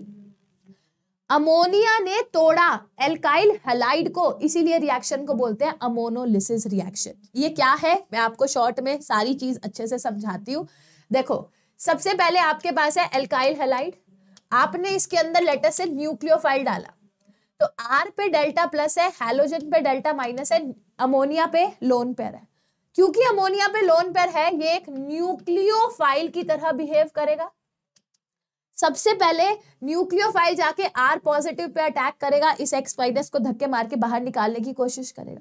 मगर ऐसा करने से अमोनिया पे R N H three positive बन जाता है एक्स माइनस मतलब मेरे पास सब्सटीट्यूटेड अमोनियम सॉल्ट बन जाता है। स्टेप नंबर वन मेरे पास सब्सटीट्यूटेड अमोनियम सॉल्ट बनता है। तो देखो, लिखा हुआ है कि अमोनोलिसिस अरे कहा गया? कह रहे further it react with alkyl halide to form secondary and tertiary amines and finally यहाँ से देख लो, कह रहे the reaction is carried out in a sealed tube at 373 kelvin the primary amine thus obtain behave as a nucleophile और further reaction होती है। देखो, अब मैं करना सिखाती हूँ। सबसे पहले आपने लिया आर एक्स किसकी रिएक्शन आप कराएँगे? अमोनिया के साथ। रट्टे कोई नहीं मारेगा। अटैक होगा, धक्के मार के बाहर निकाला जाएगा। क्या बन जाएगा? R N H two H पे positive, X minus. X minus से रहा नहीं गया, वो एच प्लस को लेकर चला गया, क्या बन गया? R N H two. मेरे पास क्या बन गया? Primary amine. अब प्राइमरी अमीन वही रुकता नहीं है। प्राइमरी अमीन फर्दर, ध्यान से देखो आर एक्स पे रिएक्शन करता है। ये इस पे गया, इसने धक्का मारा। क्या बन गया? R N H R. ये रिएक्शन रुकी नहीं, ये फर्दर आर एक्स पे रिएक्शन हुई। क्या बन गया? Are three N. रिएक्शन रुकी नहीं। फर्दर आर एक्स पे रिएक्शन हुई। क्या बन गया? R four N positive X minus ये था अमोनिया ये था प्राइमरी अमीन ये था सेकेंडरी अमीन ये था टर्शरी अमीन ये है क्वाटरनरी अमोनियम सॉल्ट क्या कहलाता है? क्वाटरनरी अमोनियम सॉल्ट इन सबसे बढ़िया सी चीज़ बताती हूँ। कह रहे अगर तुमने क्वाटरनरी अमोनियम सॉल्ट की रिएक्शन बेस के साथ कराई, ये रिएक्शन एनसीआरटी में दी हुई है। और यहाँ से जेई और नीट के सवाल बनते हैं। सुनो क्वाटरनरी मेरे खुद मैंने मॉक टेस्ट में ये सवाल डाला था। क्वाटरनरी अमोनियम सॉल्ट की रिएक्शन बेस के साथ कराओगे तो देखो ओ OH माइनस क्या करेगा? एच प्लस को खींचेगा। O H minus H plus को खींचेगा तो क्या बन जाएगा? R N H two O H minus ने एच प्लस को खींचा वाटर बन गया और और देखो, ये N A plus X minus के साथ क्या बनाएगा? एन एक्स मगर पूरी दिक्कत की बात यह है कि जब हम अमोनोलिसिस कराते हैं रिएक्शन रुकती नहीं है। रिएक्शन आगे चलती जाती है। यानी कि you get mixture of product तो मेरे को प्राइमरी सेकेंडरी टर्शरी क्वार्टरनरी सब मिल जाता है। बट अगर मैं चाहती हूँ कि मेरा प्राइमरी अमीन ज़्यादा बने तो मैं क्या करूँगी? मुझे Uh, क्या करना है? मुझे किसी एक कॉन्सेंट्रेशन एक पर्टिकुलर रिएक्टेंट की कॉन्सेंट्रेशन बढ़ा देना। यही लिखा हुआ देखो। कह रहे ammonolysis has the disadvantage of giving a mixture of primary secondary and tertiary amines and also quaternary ammonium salt however अगर तुम्हें प्राइमरी अमीन को ऑप्टेन करना है एज अ मेजर प्रोडक्ट तो आप लार्ज एक्सेस ऑफ़ अमोनिया ले लीजिए। इतना अमो, अमोनिया ज़्यादा लो। अगर आपने अमोनिया को ज़्यादा लिया तो वो लगभग सारे ही आर के साथ रिएक्शन करके आर बना देगा। हालाँकि अगर आपने एल्काइल हेलाइट ज़्यादा लिया तो रिएक्शन आगे चलती जाएगी चलती जाएगी चलती जाएगी, फिर दिक्कत हो जाएगी, ठीक है? एक अगली चीज़ देख लो, छोटी सी चीज़ है यहाँ पे। भाई आर एक्स के साथ रिएक्शन करानी है अमोनिया की। अटैक होगा, निकलेगा। तो जो एक्स ग्रुप जितना अच्छा लिविंग ग्रुप होगा, उतनी जल्दी रिएक्शन होगी, क्योंकि आयोडाइड आई माइनस एक अच्छा लिविंग ग्रुप है। इसीलिए जो ऑर्डर ऑफ़ रिएक्शन है, वो है आर आई फिर आर बी आर फिर आर सी ये था आपकी एनसीआरटी में प्रिपरेशन एक छोटू सा क्वेश्चन कर लो, फिर आगे बढ़ेंगे. कह रहे हैं, अमोनोलिसिस ऑफ़ बेंजाइल क्लोराइड. अब मेरी बात सुनो। अब तुम बेंजाइल क्लोराइड खुद से लिखो। किसी ने गलती से बेंजाइल क्लोराइड को ये लिखा ना तो मेरे से बहुत डांट खाओगे। बेंजाइल क्लोराइड मतलब बेंजीन के बाजू वाले कार्बन पे हेलोजन। इसको बोलते हैं बेंजाइल क्लोराइड। कह रहे इसकी अमोनोलिसिस करो. At the reaction of amine so formed with CH3Cl कह रहे, पहले तो आप इसकी अमोनोलिसिस करो। मैंने कहा, ये आएगा, धक्के मार के निकल जाएगा। क्या आ गया? C6H5CH2NH2 आया? C6H5CH2NH2 इसको बोलते हैं बेंजाइल अमीन कह रहे, इसकी फर्दर रिएक्शन कराओ C H three C L के साथ। कोई टेंशन नहीं है। इसको लाओ, इसको धक्के मारो। क्या बन जाएगा? C six H five C six H five यहाँ पर आ जाएगा सी एच टू एन पे आ जाएगा एन एच पे आ जाएगा सी एच थ्री अभी भी रिएक्शन रोकनी नहीं है। कह रहे, एक और molecule C H three C L का डालो। क्या आ जाएगा? सी सिक्स एच फाइव यहाँ आएगा सी एच टू एन पे सी एच थ्री और कट वाइस ये बन गया हमारा फाइनल आंसर चमक रही है कहानियाँ ठीक है? डन है डन है? चलो तो ये हो गई हमारी सारी की सारी रिएक्शंस अब एक बार सेव कर लेते हैं फ़ाइल फिर आगे बढ़ेंगे, देखते हैं कौन से अरे भाई साहब, तेरह पेजेस हमारे हो चुके हैं। कितने पेजेस हमने कर लिए तेरह। करने कितने हैं? टोटल पच, बावन। फिफ्टी टू पेजेस करने हैं। थर्टीन वी हैव डन ऐसे तो थर्टीन सही है? थर्टीन ट्वेंटी सिक्स थर्टी सही है। चलो दस दस पेज पे आएँगे। अब अगला हम रुकेंगे, पता है कब? हम रुकेंगे बीसवें पेज पे। ये ऐसे ऐसे जो ये बने हुए हैं ना, अजीब से स्ट्रक्चर यहाँ पे रुकेंगे। चलो केमिकल रिएक्शन से पहले रुकेंगे। तब तक रुकेंगे नहीं और कंटिन्यू करेंगे। हाँ जी, पहले पूछ लो, अगर किसी को कोई डाउट परेशानी है तो मैं बताऊँ, नहीं तो आगे चले। मैम प्लीज़ गाइड हाँ सत्यम बच्चे, पूछो, क्या दिक्कत होगी?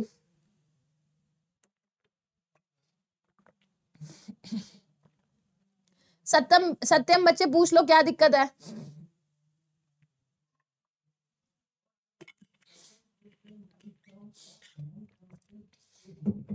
अच्छा सत्यम ने डाउट लिखा है। कह रहे हैं मैम प्लीज़ गाइड कि मैं NCERT line wise line series eleventh और ट्वेल्थ के पढ़ लू तो बोर्ड्स हो जाएगा या फिर आपने जो अपने वन शॉट लिए थे जेई वाला वो करूँ? एक्चुअली मेरा आयुपैक जीओसी आइसोमेरिज्म किया है। बच्चे, मेरी बात ध्यान से सुनो। अगर आप बोर्ड्स के लिए तैयारी कर रहे हो तो मैं पर्टिकुलरली यही बोलूँगी। अब देखो, कई स्टेट बोर्ड्स है जिसमें इलेवेंथ और ट्वेल्थ दोनों का टॉपिक आता है। और सीबीएसई बोर्ड्स में केवल ट्वेल्थ आता है है ना? अगर आप बोर्ड्स के लिए तैयारी कर रहे हो तो मैं आपको हाईली रिकमेंड करूँगी go for NCERT not because कि मैं अभी ये पढ़ा रही हूँ, इसीलिए मैं कहूँगी ये देखो। भाई, मैं खुद सीबीएसई की, है ना स्टेट टॉपर रह चुकी हूँ। केमिस्ट्री में बहुत बढ़िया नंबर लिए हैं मैंने। तो मैं खुद आपको अपने एक्सपीरियंस से बता रही हूँ। सो कॉल्ड लास्ट मोमेंट पे क्वेश्चंस की प्रैक्टिस करना या काफ़ी सैंपल पेपर करने से नंबर नहीं आता। नंबर आता है, पहले एनसीईआरटी में जितना दे रखा है ना, उसको कर जाओ। अगर ये सारी चीज़ें आप कर रहे हो एटलीस्ट आपको पता है कि आपके पेपर में किस तरीके के सवाल आएँगे। जो मैंने वन शॉट लिए थे, वो जेई के लिए थे। वो बोर्ड्स के लिए नहीं थे। मेरे उसमें से कोई भी वन शॉट में मैंने कभी कन्वर्जन रिएक्शन नहीं सिखाई। कभी पेपर में लिखते कैसे है सवाल, वो नहीं करना सिखाया। रादर यहाँ पर देखो, मैं एक बारीक बारीक चीज़ें बता रही हूँ। जैसे ये ये भी मैं करा सकती थी। मैंने कहा, नहीं, यही कराऊँगी क्योंकि ये पेपर में आने की संभावना है। तो जितने भी बच्चे स्टेट बोर्ड या बोर्ड्स की तैयारी कर रहे हैं, पहले ये देखो। आप में से कई बच्चे ऐसे हैं जो, मैं मानती हूँ जेई नीट के लिए पढ़ना चाह रहे हैं बट उनके बेस क्लियर नहीं है। ज़्यादा करने की बजाय पहले ये करो, कम से कम तुम्हें क्लैरिटी मिलेगी एक कॉन्फिडेंस आएगा कि हाँ भाई, मुझे एनसीआरटी जितना आता है। अब इसके अलावा श्रद्धा भावना में जितना मर्ज़ी पढ़ू, ठीक है? डन है। ये वाला रिएक्शन रिपीट कर दे। ये वाला रिएक्शन रिपीट कर देते हैं। मेरे पास है बेंजाइल क्लोराइड मेरे पास था बेंजाइल क्लोराइड बेंजाइल क्लोराइड का मतलब C six H five C H two C L ammonia की रिएक्शन कराई सी एल को धक्के मार के निकाल दो तो क्या बन गया? C six H five C H two N H two कह रहे उसके बाद दो molecule C H three C L के साथ रिएक्शन कराओ। कुछ नहीं। यहाँ से एच हटाओ, यहाँ से सी एल हटाओ। तो एन एच के ऊपर एक सी एच थ्री आ गया। फिर एक और एच हटाओ, एक और सी एल हटाओ। तो एन के ऊपर दो और मिथाइल ग्रुप आ गए। ठीक है? ठीक है? चलो। Ma'am, R N H three plus X minus quaternary salt होगा, बच्चे नहीं। ये क्वाटर्नरी अमोनियम सॉल्ट नहीं है। क्वाटर्नरी का मतलब होता है एन के ऊपर चार आर ग्रुप का आना। इसको बोलते हैं क्वाटर्नरी अमोनियम सॉल्ट ये तो सिंपल अमोनियम सॉल्ट है। अमोनियम का मतलब ये देखो N H four C L ammonium chloride होता है। आपने एक एच को हटा के आर लगा दिया तो क्या मैं इसको सब्सटीट्यूटेड अमोनियम सॉल्ट बोल दू? यही तो लिखा है सब्सटीट्यूटेड अमोनियम सॉल्ट चमक गया? पूछते जाओ, जो जो डाउट्स हैं पूछो, मेरी पूरी कोशिश रहेगी कि एक्सप्लेन करो। चलो, अब आगे बढ़ते हैं, आगे बढ़ते हैं और फोकस होके ध्यान से पढ़ेंगे। कह रहे अगर मुझे नाइट्राइल की रिडक्शन करनी है नाइट्राइल मतलब cyanide R C triple bond N अगर मैंने इसके अंदर ध्यान से देखो हाइड्रोजन की रिएक्शन कराई निकल के साथ तो मेरे पास क्या हो जाएगा? ये पूरा रिड्यूस हो जाएगा। क्या बन जाएगा? C H two N H two क्या बन गया? C H two N H two या फिर वो कह रहा है, अगर मैंने इसी की रिएक्शन देखो, कह रहे हैं nitriles on reduction with lithium aluminium hydride या फिर आप सिंपल सी एक बात बताओ। L I A L H four lithium aluminium hydride के साथ रिएक्शन कराओ। या फिर कैटेलिटिक हाइड्रोजनेशन कराओ तो प्राइमरी अमीन बनता है। अब एक लाइन अच्छी लिखी हुई है एनसीआरटी में। कह रहा है this reaction is use for the ascent of amine series देखो अमीन सीरीज़ को स्टार्ट करने के लिए ये रिएक्शन बनाई गई। देखो, ये था साइनाइड साइनाइड से C H two N H two बनाना अमीन सीरीज़ का स्टार्ट करना। कह रहे for the preparation of amines containing one carbon atom more than the starting amine for example ध्यान से सुनना, क्या मतलब है?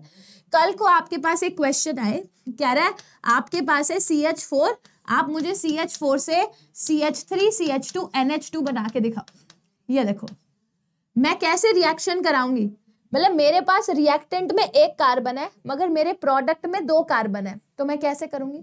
मैंने कहा, पहले हम इसकी कराएँगे क्लोरीन की प्रेजेंस में सनलाइट की प्रेजेंस में रिएक्शन तो मेरे पास फॉर एग्ज़ाम्पल बन गया C H three C L C H three C L के बाद मैं रिएक्शन कराऊँगी के सी एन के साथ। मेरे पास बन गया C H three C N फिर C H three C N के अंदर मैंने डाला hydrogen in the presence of nickel क्या बन गया? C H three C H two N H two तो अगर आपको एक ऐसे कंपाउंड के साथ रिएक्शन स्टार्ट करनी है, जिसके अंदर मान लो एन कार्बन एटम है। मेरे को फाइनल कंपाउंड में N plus one carbon atom चाहिए। तो हम जनरली साइनाइड यूज़ करते हैं, क्योंकि उसके अंदर एक कार्बन एक्स्ट्रा आ रहा है। फिर हम उसकी रिडक्शन कर देंगे। एक ये हो गया, आगे। अब इसमें मैं सही बता रही हूँ, देखो बच्चे बच्चे को ये लगता है कि L I L H four C double bond O को सी ओ एच बॉन्ड में कन्वर्ट करता है, अभी तक आपने यही सीखा। सच सच बताना, आपने ये सीखा आर सी ओ एच के अंदर L I A L H four डालते हैं R C H two O H बनता है। फिर आपको मैंने ये भी सिखाया कि आर सी ओ आर के अंदर अगर आप L I L H four डालते हैं R C H O H R बनता है। हर बच्चे को यही आता है। तो हमें जनरली एक आदत है कि जहाँ पर भी सीओ बॉन्ड दिखे, वहाँ सी ओ एच बना देना। इसी चक्कर में आप क्या करते हो कि अमाइड के अंदर अगर आपने L I L H four डाला, आप गलती से, ये चाहते हुए गलती नहीं करते, गलती से गलती हो जाती है, आप ये तोड़ के ओ एच ओ एच बनाते हो। जबकि L I L H four जो एच माइनस देगा, वो इस सी डबल बॉन्ड ओ को सी एच टू में कन्वर्ट करता है। यानी कि अमाइड से अमीन बनता है, ना कि C H O H bond ये अभी दिखने में अच्छा लगता है टीचर साथ खड़ी है तो आपको लगता है हाँ इसमें क्या है? ये तो आता है, मैम कुछ भी बोल रही है। पेपर में यही गलती मैक्सिमम बच्चे करते हैं, इसीलिए कह रही हूँ आउट ऑफ़ एक्सपीरियंस मैं सारी चीज़ें आपको बताती हूँ। ठीक है? डन है? चलो। मैम, आपने कल वाले क्वेश्चन मार्क नहीं किए पीडीएफ में। तो कल वाले के सारे कर लेते एक दिन मैम ने मार्क नहीं किए। तो तुम कर लेते। चलो मैं मार्क करवा दूँगी वैसे मतलब करके डलवा दूँगी वापस। बट तुम कर लेते, सारा किया करो, ठीक है? कर, करा करो वैसे जितना कर सकते हो बट मैं कर दूँगी। कल हमने गेब्रियल थैलेमाइड पढ़ा था ना? आज गेब्रियल थैलीमाइड सिंथेसिस पढ़ते हैं। बिल्कुल शुरू से शुरू करेंगे। ध्यान से देखो। ये क्या है मेरे पास? जल्दी से इसका कॉमन नेम बताओ। दो सी एच थ्री ग्रुप अगर बेंजीन पे होते हैं इसका कॉमन नेम बताओ। लास्ट तक ना जब पूरी एनसीआरटी e पढ़ो तो तुम्हें पता होना चाहिए टोलविडीन एनिसोल इन सबके जाइलिन कैटिकोल रिसोर्सिनोल क्वीनोल इनके नाम पता हो, इनके स्ट्रक्चर्स पता होने चाहिए। तो चलो, मेरे पास दो सी एच थ्री है। मैंने कहा, चलो के एम एन ओ फोर डाल देते हैं। हीट करेंगे एसिडिक मीडियम में। क्या हो जाएगा? कौन सा एसिड बनेगा? जल्दी से बताओ। थैलिक एसिड फिर मैंने कहा, चलो एक काम करो, थैलिक एसिड के अंदर अमोनिया डालो। तो शुरू शुरू में क्या बनता है? यहाँ पर भी सी आता है, कुछ याद आया? यहाँ पर भी सी आता है। इसको क्या बोलते हैं? थैला, थैलामाइड। याद है, हमने कल ही सीखा था, थैलामाइड। थैलामाइड को अगर आप गर्म करोगे, अमोनिया निकलता है। यहाँ पर NH2 कर देना। अमोनिया निकलता है। अमोनिया निकलने से क्या बनेगा? Phthalimide. C O N H C O N H यहाँ पर एनसीआरटी में रिएक्शन सीधा थैलीमाइड से दिया है। मैं पिछले दो चैप्टर्स को मिलाकर ले आई। थैलीमाइड के जो नाइट्रोजन के साथ हाइड्रोजन है ना, ये बहुत ज़्यादा एसिडिक होता है। अगर आप इसके अंदर थोड़ा सा KOH या कोई भी बेस डालोगे, वो इस H प्लस को लेकर आ जाएगा। इस H प्लस को लाने का मतलब ये है कि जो आपका एनायन बना, क्या आपको दिखाई दे रहा है? उसके अंदर मस्त वाला रेजोनेंस स्टेबलाइजेशन है। ये वन मार्कर क्वेश्चन है कि क्यों थैलीमाइड का हाइड्रोजन एसिडिक होता है? क्योंकि जब H प्लस निकलता है तो वो रेजोनेंस स्टेबलाइज स्ट्रक्चर बनाता है, ये लिख के दिखाना है। अब आप इसकी रिएक्शन एक एल्काइल हेलाइड के साथ कराओ। अब एल्काइल हेलाइड में कार्बन पे डेल्टा प्लस है नाइट्रोजन इस पे अटैक करेगा हेलोजन को धक्के मार के बाहर निकाल दिया जाएगा। क्या बन जाएगा? C double bond O N C double bond O N पे आर रिएक्शन अभी यहाँ खत्म नहीं होती है। हमारे पास बेस और भी था। मैंने बेस लिया ओ एच माइनस ये इस पे अटैक किया, ये ऊपर। अब देखो, आपकी एनसीआरटी में कुछ नहीं दे रखा। यहाँ बस एनएच दे के आंसर दे देते हैं। इसका मैकेनिज्म तो सीखना चाहिए ना बच्चे को। होगा क्या? ये इधर आया, ये सी डबल बॉन्ड ओ यहाँ बना ओ एच यहाँ बना C double bond O N R पे माइनस ये इस एच प्लस को ले लेगा। क्या बनेगा? ऊपर आ जाएगा सी ओ ओ माइनस नीचे क्या आ जाएगा? नीचे आ जाएगा C double bond O N H R reaction यहाँ खत्म नहीं हुई। अभी भी बेस है। बेस यहाँ आएगा अटैक करेगा। जब ये अटैक करेगा, क्या बन जाएगा? ये सी ओ ओ माइनस नीचे आ जाएगा। देखो सी ओ एच ओ पे माइनस एन आर एच ये कम बैक करेगा। जैसे ही ये कम बैक करेगा, आप सिंपल ये भी सोच लो। है ना? आप यहाँ से ये सोच लो। ये C double bond O H O by minus है। अब ये एन एच आर पे जो अरे अरे। वन सेकेंड मेरा पेन गायब हो गया। हाँ ये एन था। समझ रहे हो? अब वो होगा क्या? जैसे ये कम बैक करेगा, जैसे ही कम बैक करेगा एन एच आर एक एच प्लस को खींच लेगा। मतलब ये निकल के जाएगा मेरे पास किसमें प्राइमरी अमीन में। R N H two R N H two primary amine यानी कि गेब्रियल थैलेमाइड सिंथेसिस केवल प्राइमरी अमीन्स को बनाने का काम करती है। गेब्रियल थैलेमाइड सिंथेसिस से बस एक ही काम होता है कि प्राइमरी अमीन बनता है। अब उसके बाद ध्यान से देखो। यहाँ पर एक और लाइन लिखी हुई है। कह रहा है एरोमेटिक प्राइमरी अमीन्स कल को अगर आप मुझे कहो कि मुझे एनिलीन बनाना है तो वो हम इस मेथड से नहीं बना सकते। क्यों नहीं बना सकते? क्योंकि एनिलीन बनाने के लिए आपको क्लोरोबेंजीन से चालू करना पड़ेगा। क्लोरोबेंजीन के अंदर यहाँ पर पार्शियल डबल बॉन्ड कैरेक्टर है। अगर पार्शियल डबल बॉन्ड कैरेक्टर है, ये बॉन्ड टूटेगा नहीं बॉन्ड टूटेगा नहीं तो रिएक्शन होगी नहीं। याद रखना aniline can not be prepared by this method इस मेथड से एनिलीन प्रिपेयर नहीं कर सकते। ठीक है? क्या ये बात सबको अच्छे से चमक गई? ऑल गुड ठीक है? ये था हमारा गेब्रियल थैलेमाइड सिंथेसिस अब हमारी एक नई रिएक्शन है हॉफमैन ब्रोमामाइड डिग्रेडेशन रिएक्शन मैं सिर्फ़ एनसीईआरटी e पढ़ाऊं तो मैं एक मिनट भी यहाँ पे मैकेनिज्म में वेस्ट नहीं करूँगी। मगर मैं दोबारा बोल रही हूँ ये सीरीज़ हर उस बच्चे के लिए है जो बोर्ड्स की नीट की जेई की या किसी भी कॉम्पिटेटिव एग्ज़ाम की तैयारी कर रहा है। तो मेरे लिए आपको इसका पूरा मैकेनिज्म सिखाना ज़रूरी है। बहुत इंपॉर्टेंट रिएक्शन है। होता क्या है? ध्यान से देखो। मान लो मेरे पास अमाइड है। क्या है? R C O N H two amide है। पहले मैंने अमाइड की रिएक्शन करी बेस के साथ। बेस क्या करेगा? एसिडिक प्रोटॉन लेकर चला जाएगा। और गाना गाएगा, हम तुम को चुरा कर ले जाएँगे। डोली में बिठा कर ले जाएँगे। तो बेस ने क्या किया? H प्लस निकाला। रिएक्शन को शांति नहीं मिली। अब आपने डाला ब्रोमीन। तो जैसे ही NH ने देखा कि मेरे ऊपर तो नेगेटिव है, वो जाके फटाक से ब्रोमीन पे अटैक करेगा। मेरे पास क्या बन जाएगा? R C O N H B R तुम में से कई बच्चे सोच रहे होंगे, मैम ना कुछ भी कर रही है एनसीआरटी में मैकेनिज्म दे भी नहीं रखा, फिर भी मैम सिखा रही है। मैम तुम्हारे फ़ायदे का सोच रही है।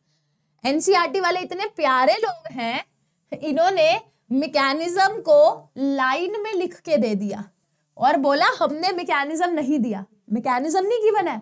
मगर ये जो चार लाइनें हैं, ये अपने आप में मैकेनिज्म है। इसीलिए वो मैकेनिस्टिक सवाल पूछेगा, जिसके लिए मैकेनिज्म आना ज़रूरी है। आगे बताती हूँ। आपने फिर से बेस लिया। बेस क्या करेगा? हम, तुम को चुरा कर ले जाएँगे।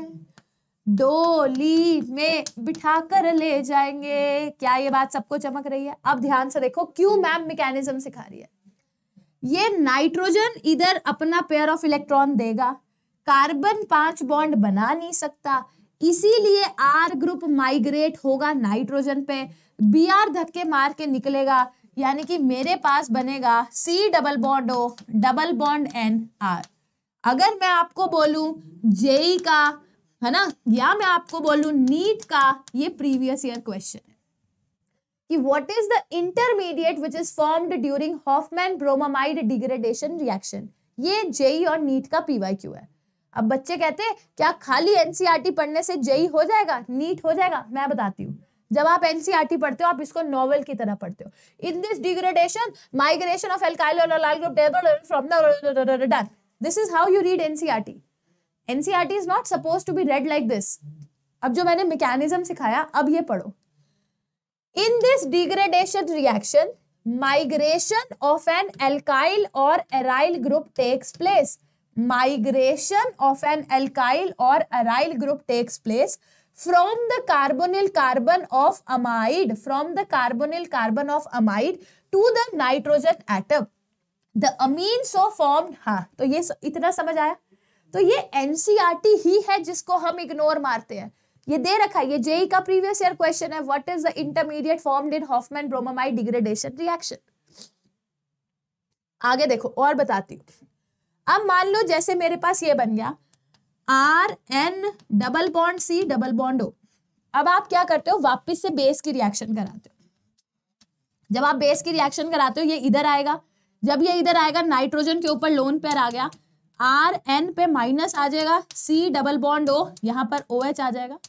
उसके बाद होगा क्या? ये इधर आएगा, है ना? मतलब पहले इसने एच ले लिया। ये नेगेटिव नेगेटिव जाके एच प्लस को लेकर आ गया। तो ये बन गया, मेरे पास एन पे नेगेटिव यहाँ से गायब हो गया। एन पे नेगेटिव गायब हुआ। अब होगा क्या? ये इधर आएगा, ये यहाँ से धक्के मार के निकालेगा। तो क्या बन गया? आर एन एच माइनस और ये C double bond O O H बना।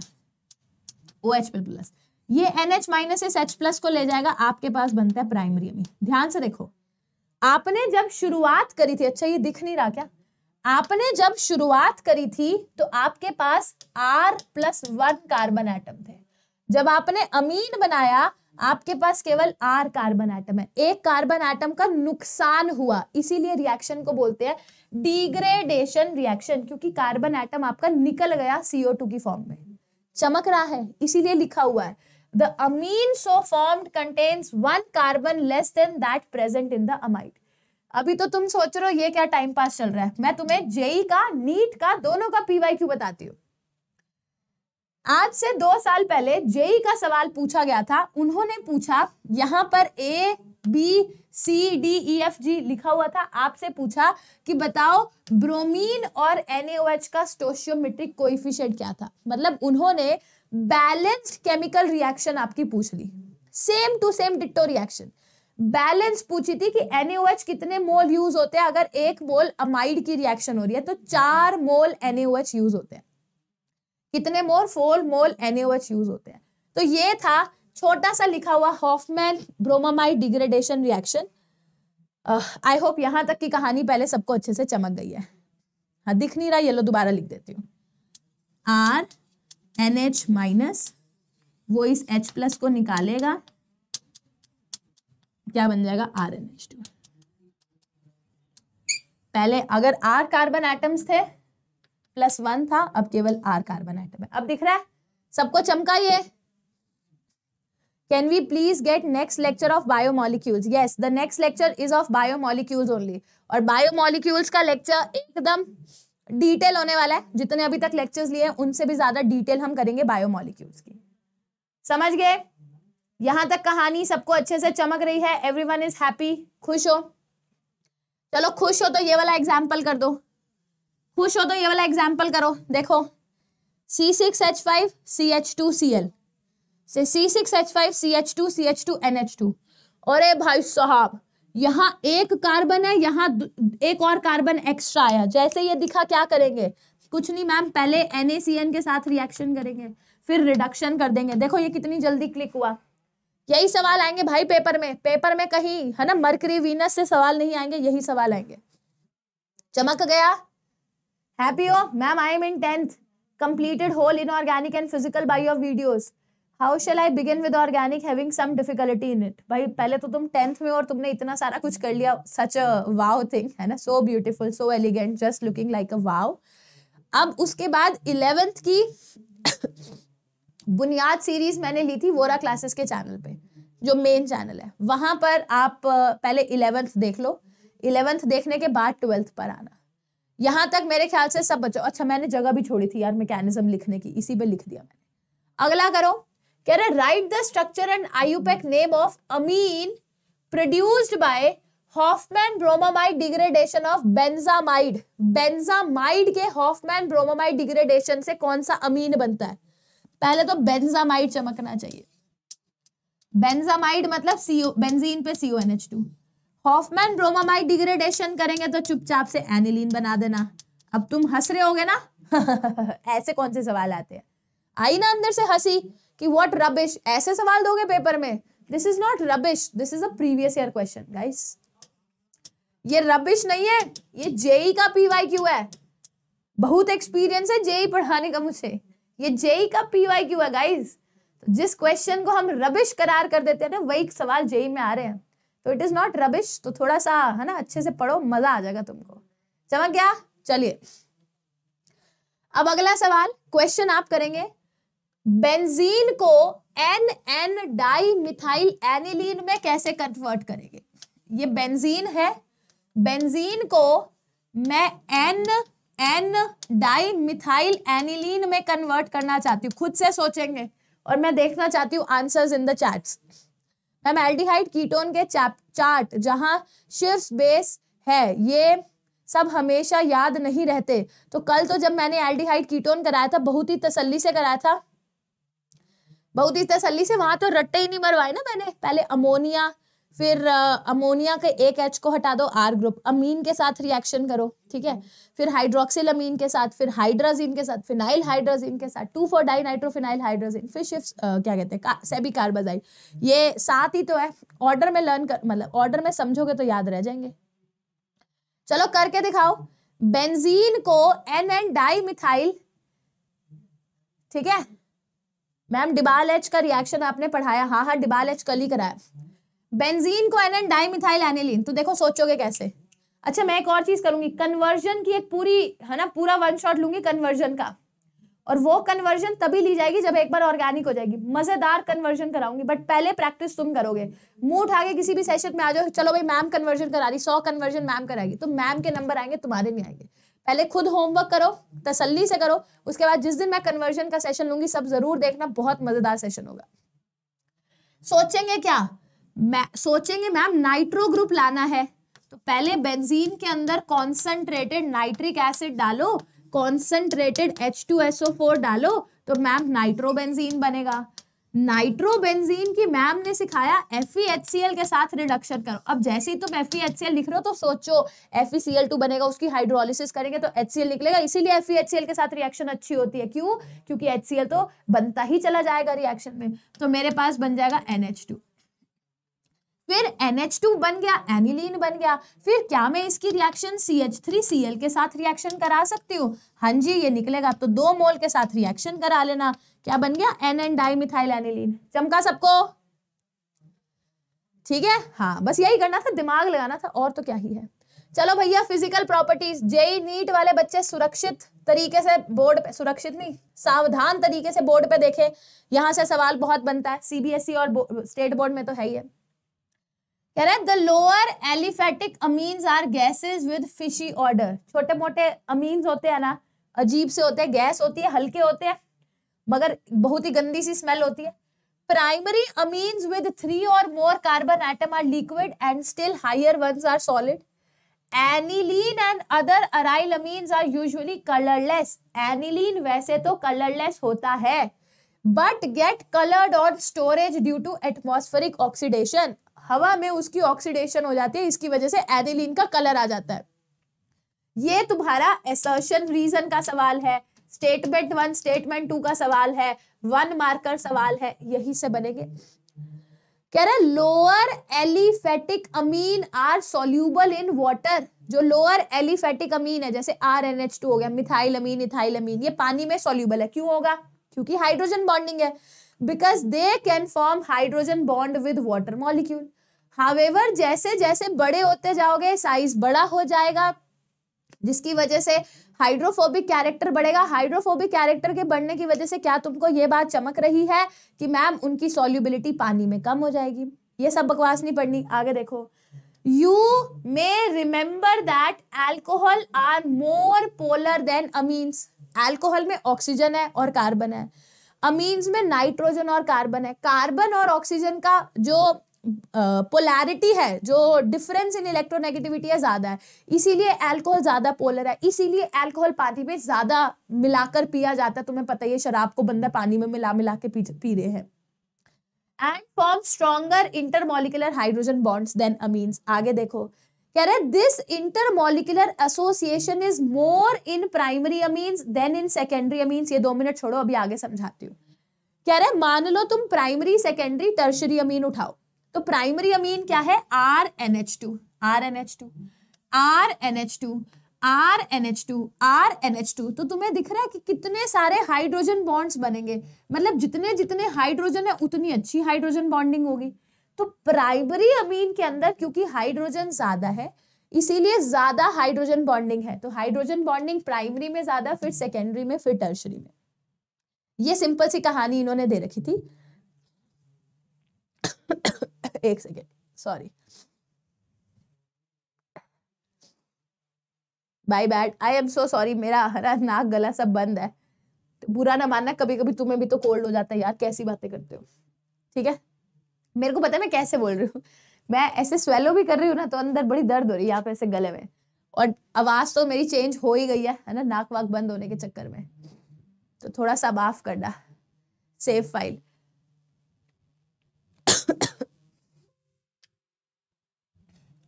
बहुत ही बढ़िया। तो जैसा कि हमने प्रॉमिस किया था, पचास में से बीस पन्ने हम बढ़िया तरीके से कर चुके हैं। अब हम तीसरे पन्ने, तीसरे थर्टियथ पन्ने का टारगेट लेंगे, जो कि आएगा कहाँ पर? जो कि आएगा ये स्टार वाला, ठीक है? ऊपर डब्बा है, नीचे स्टार है, याद रखेंगे। ऊपर डब्बा है, नीचे स्टार है तो यहाँ पे रुकेंगे अगले दस पन्नों के बाद। तब तक मैं अच्छा और पढ़ा देती हूँ तुम्हें, ठीक है? हाँ जी, देखो ये, अब ये ये टेबल यार अपने आप में मतलब कतई अच्छी टेबल है। मुझे नहीं पता बट ये बहुत प्यारी टेबल है। कह रहे कुछ कंपाउंड्स दे रखे हैं जिनके मोलर मास सेम है। कोई ये मत कह देना सेवेंटी टू लेस होता है सेवेंटी थ्री से सेवेंटी फोर ज़्यादा होता है। इनको सिमिलर ही कहेंगे। ठीक है, हमारे लिए सिमिलर मोलर मास है। देखो, मेरे पास, मुझे क्या लिखना है? मुझे कंपाउंड के बॉइलिंग पॉइंट का आइडिया लेना है। मेरे पास एक है प्राइमरी अमीन एक, दो, तीन, चार कार्बन एटम है NH2 है। एक है सेकेंडरी अमीन एक दो, फिर बीच में NH है, एक दो। फिर है टर्शरी अमीन टर्शरी में क्या है? एक दो एन है, एक और एक। फिर है सिंपल मेरे पास C2H5CH और सी एच ये देखो, एक दो, इस कार्बन पे दो मिथाइल है और एक लास्ट में है अल्कोहल कोई मुझे देखते ही कहे, चलो इनका बॉइलिंग पॉइंट बताओ। मैं दिमाग में सोच के कहूँगी कि मैम देखो अल्कोहल के अंदर सबसे तगड़ी इंटरमोलिकुलर हाइड्रोजन बॉन्डिंग होती है क्योंकि इलेक्ट्रोनेगेटिविटी डिफरेंस ज़्यादा है। कुछ भी कहो सबसे ज़्यादा बॉइलिंग पॉइंट होगा अल्कोहल का। 350, 329, 310, 300, 390 क्या ये बात समझते हैं? अल्कोहल का सबसे ज़्यादा। फिर मैंने कहा मैम ये बेकार जा समझ रहे हो आप? ये क्या है? ब्यूटेन है है ना? आइसो ब्यूटेन है? ये तो बेकार है इसके अंदर कोई पोलैरिटी नहीं। इसका सबसे कम होना चाहिए इन तीनों का फिर ज़्यादा होगा क्योंकि स्टिल डाइपोल डाइपोल अट्रैक्शन है। तो सबसे कम 300 किसका होगा? ब्यूटेन का, ये भी खत्म। अब मैंने कहा, चलो प्राइमरी सेकेंडरी टर्शरी में देखते हैं। क्योंकि प्राइमरी में दो हाइड्रोजन है तो ज़्यादा एक्सटेंसिव हाइड्रोजन बॉन्डिंग है। सेकेंडरी में हाइड्रोजन कम है एक्सटेंस मतलब हाइड्रोजन कम तो हाइड्रोजन बॉन्डिंग कम। टर्शरी में एक ही हाइड्रोजन भी नहीं है तो सबसे कम हाइड्रोजन बॉन्डिंग होगी। तो सब, इन तीनों में से सबसे ज़्यादा 350 इसका, फिर 329 इसका 310 इसका, बात खत्म। ये सवाल पेपर में आता है अरेंज द फॉलोइंग एबीसीडी होता है, कौन सा सबसे मैक्सिमम बॉइलिंग पॉइंट है? ठीक है, ये हो गया। ठीक है? Ma'am after board shall we join advance booster booster advance बच्चे बोर्ड्स के लिए वेट मत करो। मतलब कंपटीशन पता है आजकल कितना तगड़ा है कि तुम सोच रहे हो कि मैं अभी पंद्रह बीस दिन बोर्ड्स में निकाल दूँगा, फिर मेंस की तैयारी करूँगा तो इतना दिन, इतना समय तुम्हारा चला जाएगा। इस समय को यूटिलाइज करो। और ऐसा नहीं है कि बोर्ड्स में नंबर लाना बहुत मुश्किल है। ऐसा नहीं है। अगर कोई डमी स्टूडेंट भी है ना, जिसने आज तक एनसीआरटी खोल के नहीं देखी, आज तक बोर्ड्स के लिए नहीं पढ़ा, अगर तुम टाइम को मैनेज करके पढ़ रहे हो, भाई तुम पचास परसेंट टाइम बोर्ड्स को दो, पचास परसेंट टाइम जेई मेन्स को दो, तब भी तुम्हारे बोर्ड्स में अच्छे नंबर आ जाएँगे।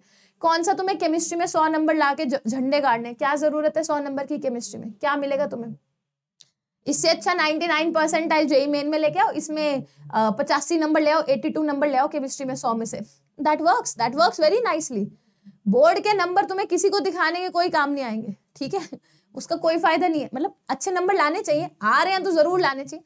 मगर ऐसा नहीं होना चाहिए कि बोर्ड्स में 95 लाने के चक्कर में हम मेंस पे कॉम्प्रोमाइज कर रहे हैं। कॉलेज मेंस के स्कोर से मिलेगा बोर्ड्स के स्कोर से नहीं मिलेगा। ये याद रखना।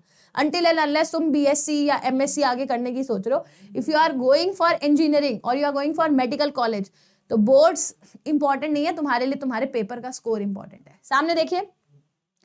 चलो भाई फ़िज़िकल प्रॉपर्टीज़ हमारी निपट चुकी हैं। मुबारक हो तुआनू ठीक है? मुबारक हो फ़िज़िकल प्रॉपर्टीज़ कंप्लीट हो चुकी है। केमिकल प्रॉपर्टीज़ पे आते हैं। केमिकल प्रॉपर्टीज़ में मैं आपको एक सिंपल सी चीज़ बताती हूँ। ध्यान से देखना। ध्यान से सुनना।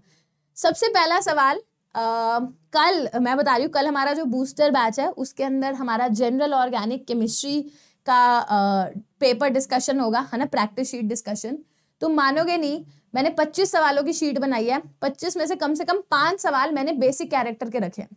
क्योंकि श्योरिटी से बेसिक कैरेक्टर का सवाल पेपर में आता है, ठीक है? चाहे वो आपका सीबीएसई e हो, चाहे नीट हो, चाहे जेई हो मतलब ये बेसिक कैरेक्टर इतना इंपॉर्टेंट है। तो सामने देखो, कह रहे अगर आपके पास एक आर एन एच टू है, ये प्राइमरी अमीन आप इसकी रिएक्शन कल को एच एक्स के साथ कराएँ। एच एक्स एक एसिड है एसिड का क्या काम होता है? एसिड का काम होता है प्रोटॉन देना। तो it is a proton donor अब NH2 इस H प्लस पे अटैक करेगा, क्या बन जाएगा? R N H three positive X minus तो क्योंकि प्राइमरी अमीन HX के साथ रिएक्शन करता है HX एक एसिड है तो क्या मैं कह सकती हूँ कि एच टू एक बेस की तरह बिहेव कर रहा है। सिमिलरली अगर आप एनिलीन की रिएक्शन एचसीएल के साथ कराते तो क्या बनेगा? एनिलीनियम क्लोराइड इन दोनों रिएक्शन से यह साबित होता है कि आर एन एच टू या एनिलीन दीज आर बेसिस ये अच्छे ठीक ठाक बेस है। आगे देखो, हमने ये रिएक्शन ऑलरेडी मैंने आपको पढ़ा दी अभी पाँच मिनट पहले पढ़ाई थी, अब ध्यान से देखना। कह रहे हैं, जो अमीन के सॉल्ट्स होते हैं these are soluble in water R N H three positive X minus पानी में सोल्यूबल है, क्योंकि इनके अंदर केटाइन एनायन है।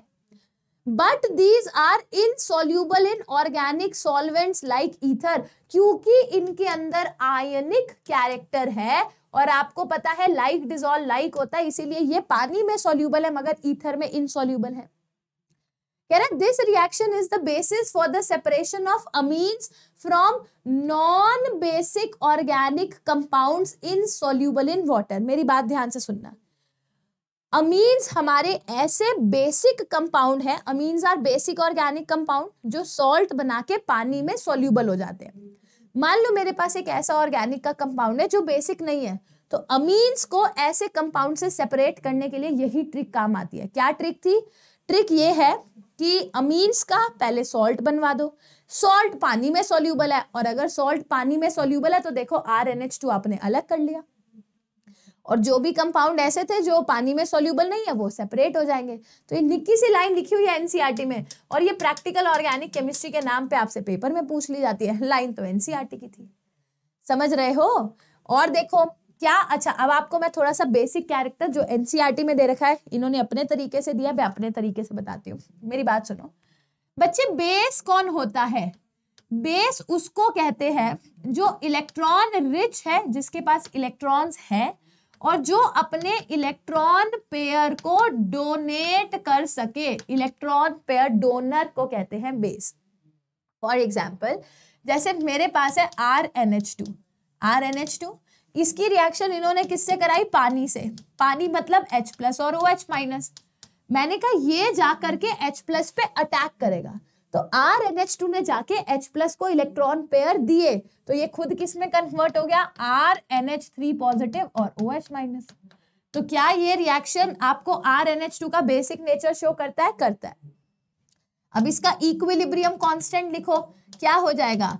आर एन एच थ्री पे पॉजिटिव मतलब पहले प्रोडक्ट्स की कॉन्सेंट्रेशन डिवाइडेड बाय रिएक्टेंट की कॉन्सेंट्रेशन यही होता है ना? डिवाइडेड बाय रिएक्टेंट की कॉन्सेंट्रेशन अब मेरी बात सुनो, इसको हम अगर आपने केमिकल इक्विलिब्रियम आयनिक इक्विलिब्रियम ढंग से पढ़ा था, ये के इक्विलिब्रियम है। फिर इस वाटर को आप लेफ़्ट हैंड साइड पे ले जाओगे तो के इक्विलिब्रियम इनटू वाटर एक नया इक्विलिब्रियम कांस्टेंट बनेगा, जिसको के बी बोलते हैं। के बी मतलब R N H three positive into O H minus की concentration divided by R N H two वैसे तो ये केमिकल और आयनिक इक्विलिब्रियम की कहानी है, जो यहाँ पर नहीं करनी चाहिए। फिर भी मैं करा रही हूँ क्योंकि एनसीआरटी में दे रखी मेरे लिए मुक्ति बात यह है इंपॉर्टेंट बात यह है, ध्यान से सुनना। अगर किसी का के बी ज़्यादा है तो वो बेस ज़्यादा अच्छा होगा। के बी ज़्यादा होने का मतलब पी के बी कम। तो क्या बोला मैंने? के बी ज़्यादा पी के बी कम बेसिक ज़्यादा। अगर किसी बेस का के बी ज़्यादा है यानी कि उसका पीके भी कम होगा, उसका बेसिक कैरेक्टर ज़्यादा। बाय द वे जिनको नहीं पता पीके भी क्या होता है? Minus log of K b pK b क्या है? Minus log of K b ये तो एनसीआरटी में जो भी चीज़ें दे रखी थी, मैंने आपको समझाई। अब मेरे लिए सबसे इंपॉर्टेंट चीज़ है ये टेबल मतलब ये टेबल इतनी प्यारी है, मैं तुम्हें क्या बताऊँ? पहले टेबल को समझते हैं और इसी टेबल से आपके बोर्ड्स के नीट के जेई के सवाल बनते हैं। हर साल बनते हैं, अभी भी बनेंगे। मेरे पास है मिथाइल अमीन, ये है C H three N H two अच्छा ये टेबल पे आने की बजाय, पहले मैं थोड़ा सा ना अपने सलीके से आपको ये समझाने की कोशिश करती हूँ, उसके बाद आई विल टेल यू कि टेबल में क्या दे रखा है। थोड़ा सा मुझे एक पेज और ऐड करने दो। ठीक है let me add two pages new slide new slide चलो, मैं आपको पहले अपने सलीके से समझाने की कोशिश करती हूँ। ध्यान से देखना। बच्चे, एक अच्छा बेस वो होता है बेटर बेस कौन होता है? गुड बेस कौन होता है? जिसके पास इलेक्ट्रॉन रिच होते हैं। जो इलेक्ट्रॉन रिच होता है, वो ही तो दूसरे को H प्लस मतलब किसी H प्लस को इलेक्ट्रॉन देगा। मान लो मेरे पास है टर्शरी अमीन मेरे पास है सेकेंडरी अमीन प्राइमरी अमीन और मेरे पास है अमोनिया ध्यान से देखना। टर्शरी अमीन मतलब मान लो मेरे पास है आर एन आर ये लोन पेयर मेरे पास है आर एन आर यहाँ पर एच है lone pair. R N H H यहाँ पे है लोन पेयर और ये है एन एच एच एच यहाँ पर है लोन पेयर। ध्यान से सुनिएगा। बच्चे, अगर मैं रिएक्शन करा रही हूँ गैशियस फेस गैशियस फेस का मतलब हमारे सारे के सारे मॉलिक्यूल्स एक दूसरे से क्या है? काफ़ी दूर दूर गैशियस रिएक्शन मतलब all the molecules are far away from each other है ना? तो देखो आर ग्रुप क्या करेगा? ये इंडक्टिव इफ़ेक्ट की वजह से इलेक्ट्रॉन देगा, ये भी देगा, ये भी देगा। यानी कि लोन पेयर की जो इलेक्ट्रॉन डेंसिटी है, वो बढ़ जाएगी। अगर मैं सेकेंडरी अमीन की बात करूँ तो यहाँ इलेक्ट्रॉन देने वाले केवल दो ही ग्रुप है। प्राइमरी अमीन में इलेक्ट्रॉन देने वाला एक ही ग्रुप है, और अमोनिया में इलेक्ट्रॉन देने वाला कोई भी ग्रुप नहीं है। तो क्या आपको समझ आ रहा है कि टर्शरी इलेक्ट्रॉन रिच है? इसीलिए टर्शरी वाला H प्लस पे जाके मज़ेदार तरीके से अटैक कर सकता है। गैशियस फेस में सब एक दूसरे से दूर दूर है, उनको आपस में कोई एक दूसरे के साथ कनेक्शन नहीं है।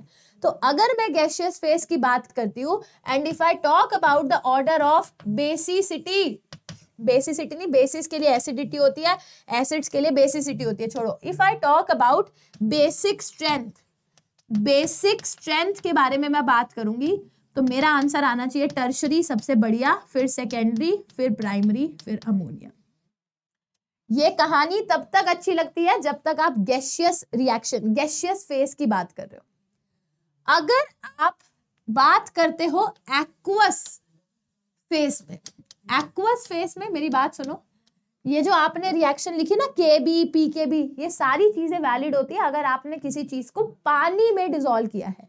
तो ये जो टेबल आ रही है ना देखो, ये ऊपर एनसीआरटी e में लिखा होता है। This is in aqueous phase ये हम नहीं देखते। हमें लगता है पीकेबी पीकेबी तो एनसीआरटी तो गलत है। एनसीआरटी गलत नहीं है। उन्होंने क्लियर दे रखा है कि ये जो पीकेबी वैल्यूज़ हैं, वो हमने एक्वस फेस के लिए दी है।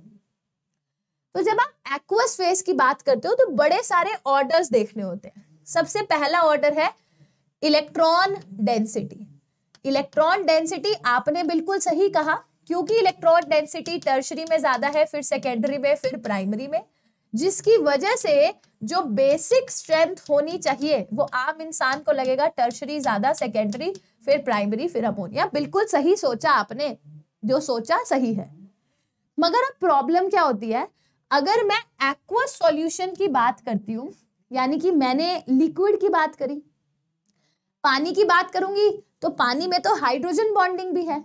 तो सपोज़ करो अगर आर थ्री एन ने एक एच प्लस को एक्सेप्ट किया, उसने अपना लोन पेयर दिया, मेरे पास क्या बनेगा? R three N H positive अगर आर टू एन एच ने एक इलेक्ट्रॉन को, अपना इलेक्ट्रॉन पेयर दिया तो क्या बनेगा?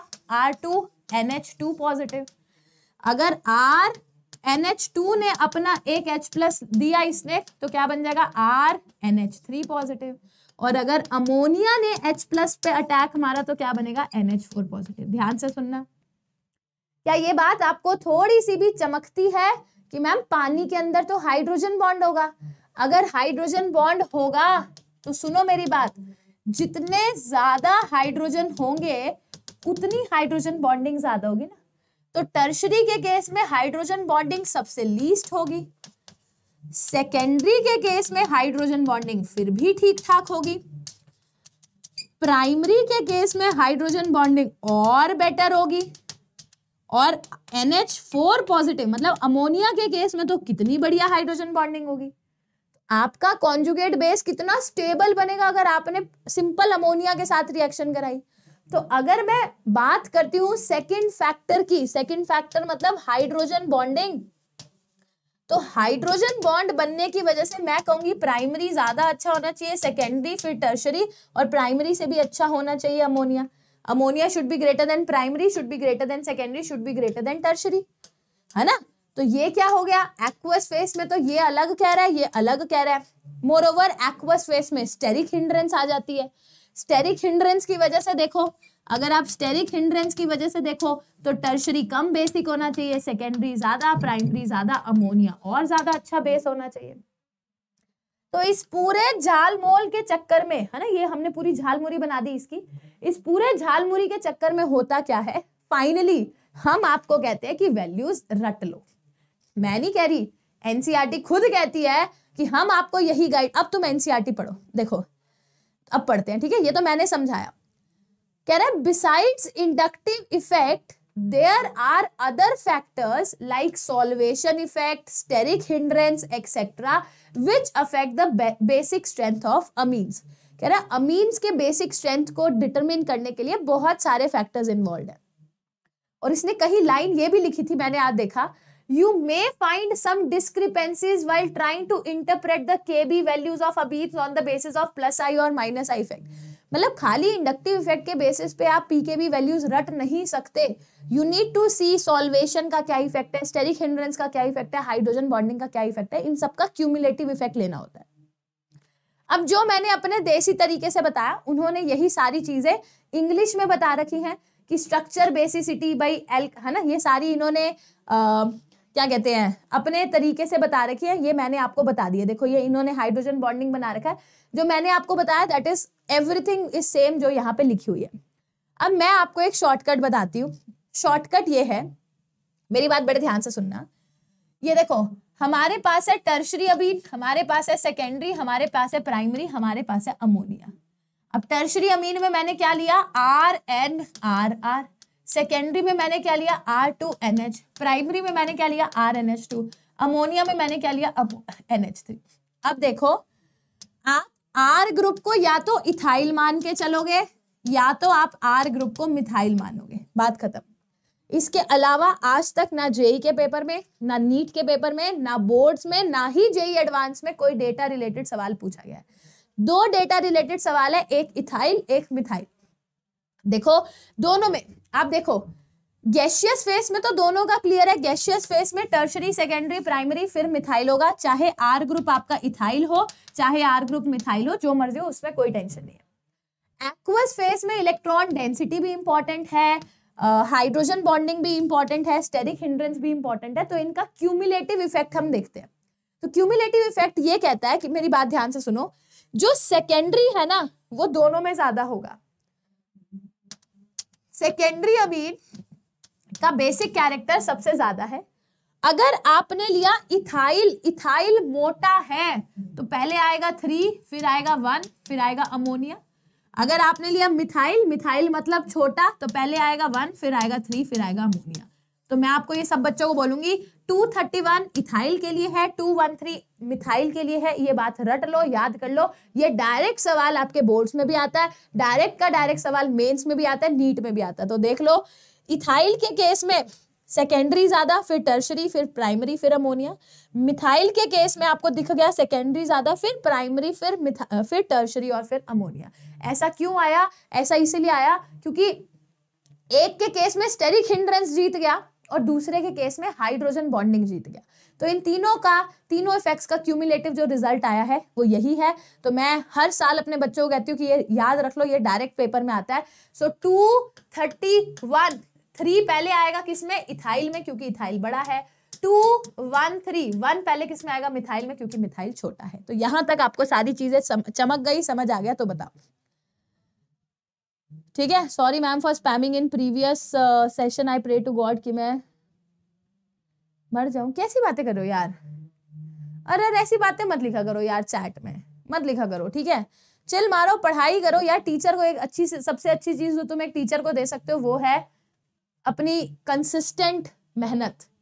मतलब टीचर मुझे और तुम लोग से क्या चाहिए? तुम खुद सोचो ना, मैं तुमसे क्या डिमांड कर सकती हूँ? मैं तो तुम में से किसी एक भी बच्चे को पर्सनली नहीं जानती। ऐसा तो है नहीं कि ऑफलाइन कोचिंग है, तुम रोज आओगे, मैं तुम्हारे पेरेंट्स को जानती हूँ, मैं बस एक कैमरा को पढ़ा रही हूँ।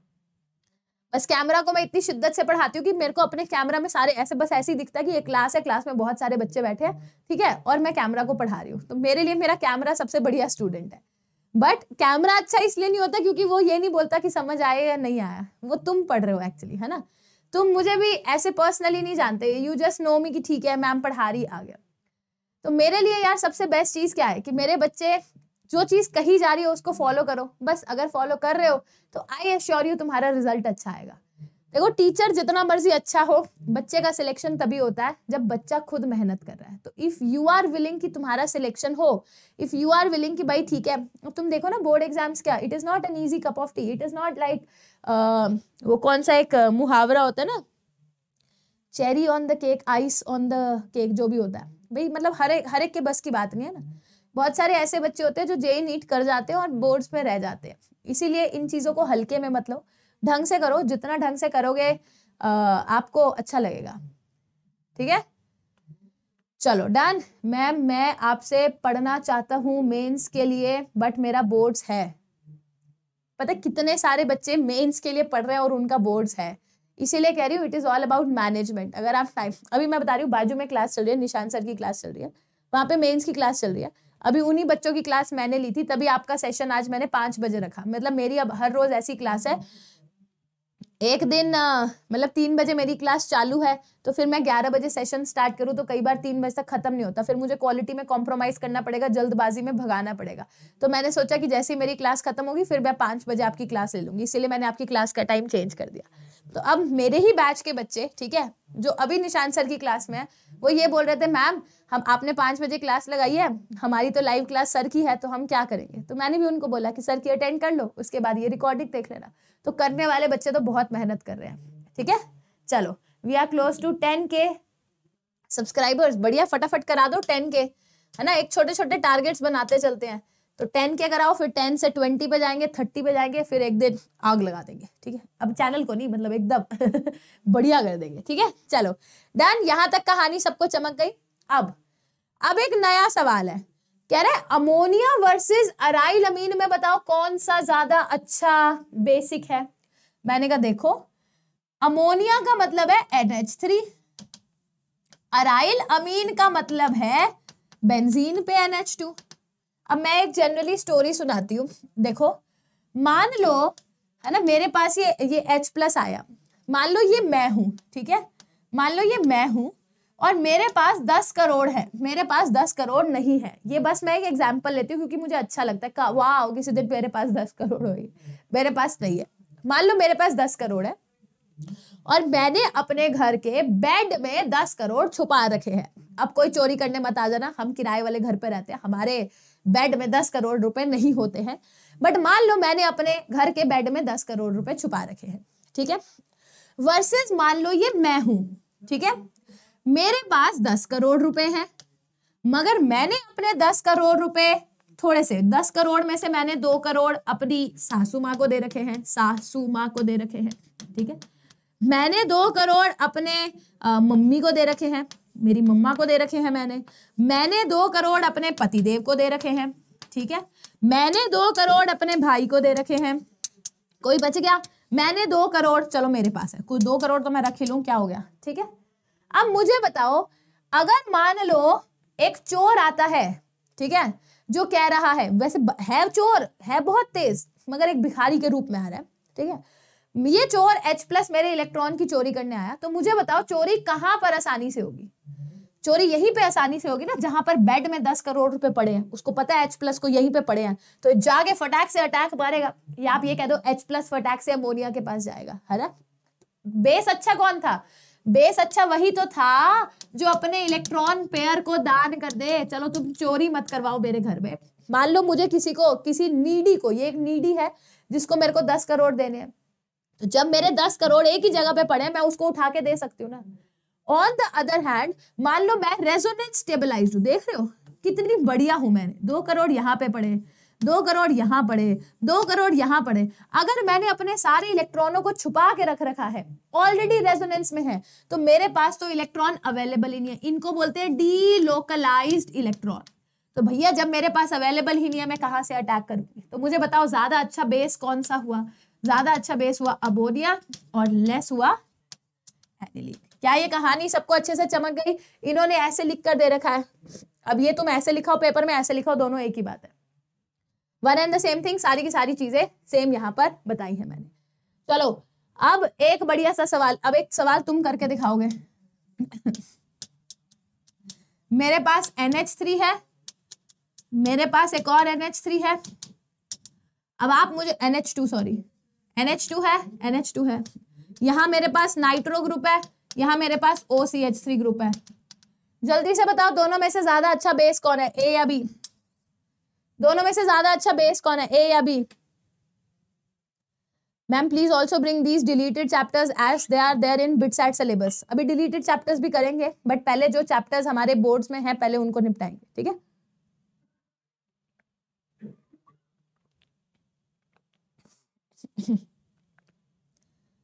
पहले भी आया था ये कॉन्सेप्ट केमिस्ट्री के वंश अरे, यही यही कॉन्सेप्ट है मेरे। केमिस्ट्री तो बढ़ा रही हूँ यार। कौन सा डेली लाइफ एग्ज़ाम्पल पढ़ा रही हूँ तुमको? बताओ ए या बी में से। ए या बी में से फटाक से बताओ कौन सा? ज़्यादा अच्छा बेस कौन सा? ए बी मैंने क्या कहा था? तुम अगर इलेक्ट्रॉन देना चाहते हो तो तुम्हारे पास भैया इलेक्ट्रॉन होने चाहिए देने के लिए।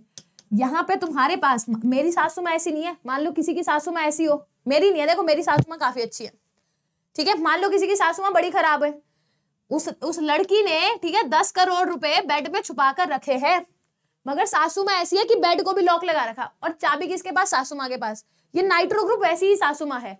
भाई साहब, इलेक्ट्रॉन खींच के रखता है अपने पास। कह रहे दे के देखो, जाओ तुम दे के देखो, किसको दोगे? चोर भी सोचे, कहाँ जाऊँ मैं ऐसी सासू माँ इनके घर में? तो ये देने को नाइट्रो ग्रुप इतना इलेक्ट्रॉन खींचेगा कि इसका लोन पेयर वहाँ जाएगा ही नहीं। यहाँ पर अब इसकी सासू माँ खुद ही ऐसी, कह रही, मेरे पास ऑलरेडी बीस करोड़ है। जा बेटा, ले जा। तो वो देगा ना, वो इसकी इलेक्ट्रॉन डेंसिटी बढ़ाएगा, वो एच प्लस पे अटैक मारेगा तो B is better base than A चमक गया सबको? ठीक है। आगे बढ़िया, आगे काम करते हैं। कह रहे arrange the following in the decreasing order of basic strength दोबारा बोल रही हूँ, ये तुम्हारे पेपर में सवाल आएगा। हार्ट भी बना देती हूँ। चलो, मुझे इसी इसी खुशी में हरे रंग के हार्ट चैट में दिख जाने चाहिए। ठीक है ना? आई नीड ग्रीन कलर के hearts in the chat section नहीं तो मैम आगे नहीं बढ़ेगी। तुम्हें पता है मैम है बहुत ही जिद्दी। ठीक है? तो ग्रीन कलर के हार्ट्स चैट सेक्शन में आ जाने चाहिए क्योंकि ये सवाल पेपर में आएगा। तो ग्रीन कलर के हार्ट्स आ जाए। हैं हम ऐसे हैं थोड़े। हम इसी टाइप के हैं। हमें हार्ट्स वार्ट्स हाई फाई वाई फाई से बहुत प्रेम है।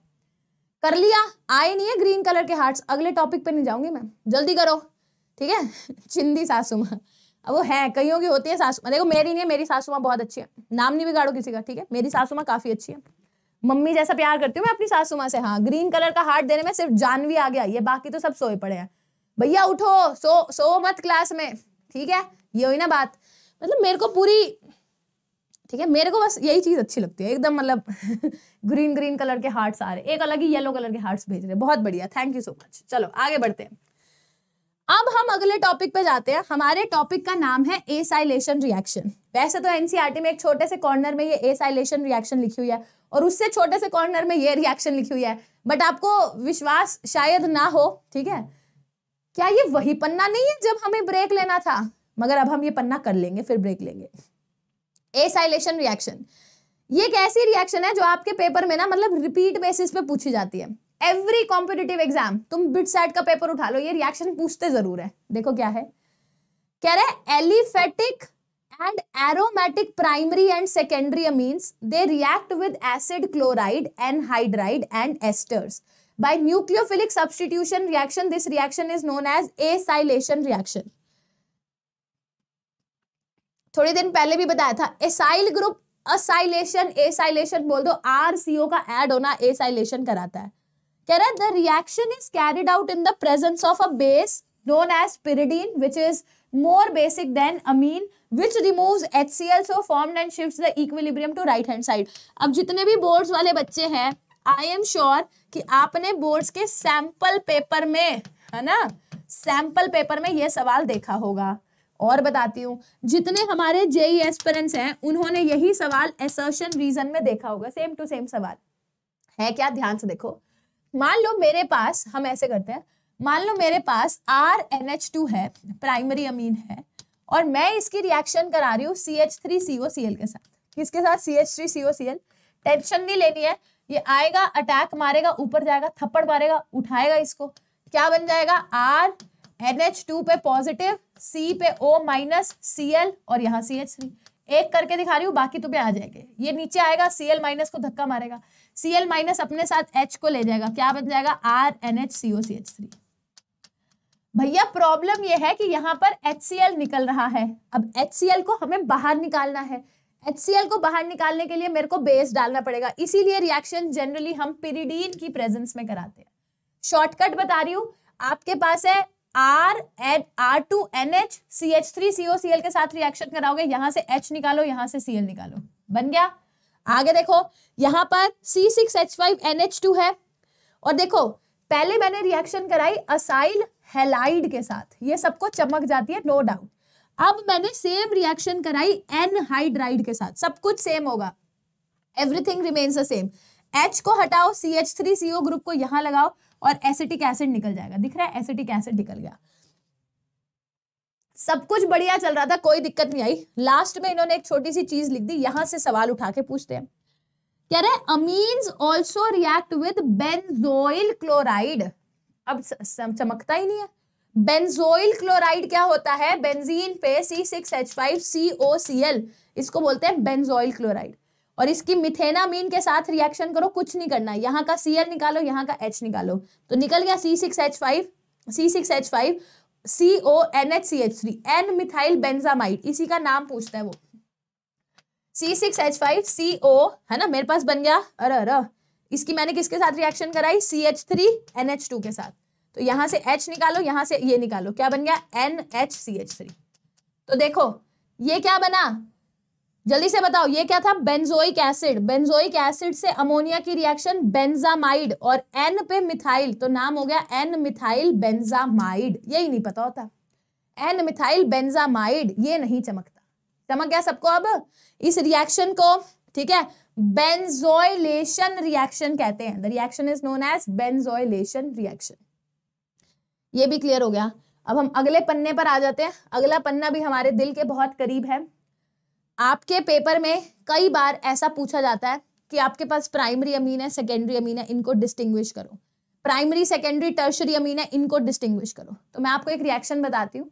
रिएक्शन का नाम है कार्बाइल अमीन रिएक्शन इसी को आइसोसाइनाइड टेस्ट के नाम से जानते हैं।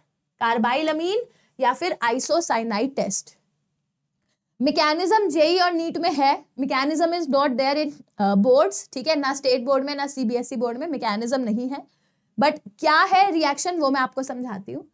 आपने लिया आर एन एच टू आप इसकी रिएक्शन कराएँगे क्लोरोफॉर्म के साथ in the presence of a base मैं आपको बताती हूँ, ये कन्वर्ट हो जाएगा R N triple bond C isocyanide में कन्वर्ट हो जाएगा. ये जो आइसोसाइनाइड है, ये बहुत ही गद्दी बदबूदार स्मेल वाला होता है। खैर, आज अगर मुझे आइसोसाइनाइड की स्मेल सुंघा भी दी जाए तो कुछ नहीं होगा, क्योंकि मेरा नाक इतना बंद हो चुका है। ये है हमारा आइसोसाइनाइड, जो कि कतई फाउल स्मेलिंग है। इतना गंदा स्मेल का कंपाउंड होता है कि जब मतलब मान लो आपने आइसोसाइनाइड टेस्ट करा, इतनी गंदी बदबू निकली, आपने कहा हाँ जी भैया प्राइमरी अमीन है। क्या है प्राइमरी अमीन अब मैं आपको इस रिएक्शन का किस तरीके का जेई नीट में सवाल आता है वर्सेस बोर्ड्स में सवाल आता है, वो बताती हूँ। जेई नीट का सवाल आता है आइसोसाइनाइड टेस्ट में एक mole R N H two की रिएक्शन कितने मोल के ओ एच रिक्वायर्ड होते हैं? तो आंसर आ गया थ्री मोल के ओ एच रिक्वायर्ड होते हैं, ये रिएक्शन बैलेंस रिएक्शन है। एक तो ये सवाल आता है, दूसरा कई बार वो इंटरमीडिएट पूछ लेता है तो मैं आपको बता देती हूँ, ये जो आपके पास क्लोरोफॉर्म है ये ओ एच माइनस के साथ रिएक्शन करके सबसे पहले C C L three minus बनाती है। मतलब कार्बन पे तीन क्लोरीन है, एक नेगेटिव अब ये क्लोरीन से बर्दाश्त नहीं होता, वो पेयर ऑफ़ इलेक्ट्रॉन ले जाता है, क्या बनाता है? सी सी एल टू इसको बोलते हैं डाई क्लोरोकार्बीन क्या बोलते हैं? डाई क्लोरोकार्बीन इसको बोलते हैं DCC so this is the intermediate which is use in carbylamine reaction इससे ज़्यादा बोर्ड्स में कभी नहीं पूछा जाता। समझ गए? कभी नहीं पूछा जाता। ये बात चमक गई सबको? आगे। अब हमारी, अब ये दो और रिएक्शंस है। हमारी रिएक्शंस दे रखी है विद नाइट्रस एसिड ठीक है? ये ये दो तीन पन्ने बहुत ही इंपॉर्टेंट है। ये दो तीन पन्ने खूब इंपॉर्टेंट है। उसके बाद तो फिर आसान, ये आ गया डाइजोनियम सॉल्ट ये सबसे आसान टॉपिक है। बट ये दो तीन पन्ने बहुत इंपॉर्टेंट है।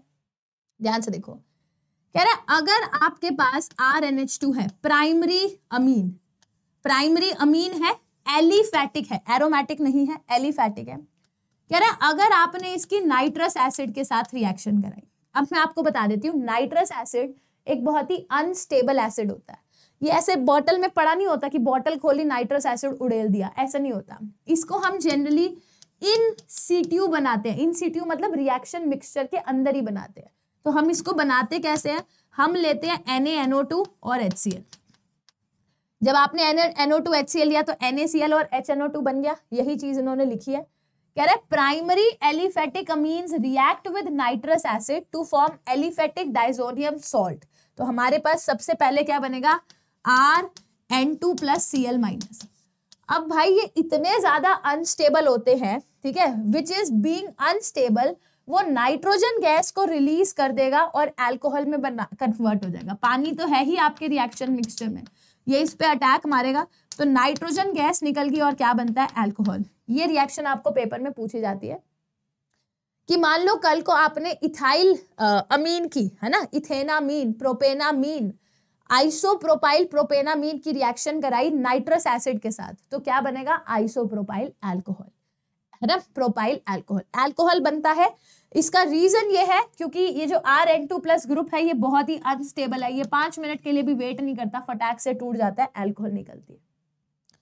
हालाँकि अगर आपने सेम टू सेम रिएक्शन कराई इसके साथ एरोमेटिक अमीन के साथ, आपने यहाँ टू डाला ज़ीरो टू है ना टू डाला एल की प्रेजेंस में रिएक्शन आप zero to five degree C में करा रहे हैं, आपके पास बनेगा बेंजीन डाइजोनियम क्लोराइड बेंजीन पे N two plus C L minus इसको बोलते हैं बेंजीन डाइजोनियम क्लोराइड इसकी आगे रिएक्शंस क्या करानी है, अभी पाँच दस मिनट बाद पढ़ेंगे, जब हमारा ये पूरा काम निपट जाएगा, ठीक है? अब मेरी बात ध्यान से सुनो। एनसीआरटी का अगले पन्ने पे हम आगे।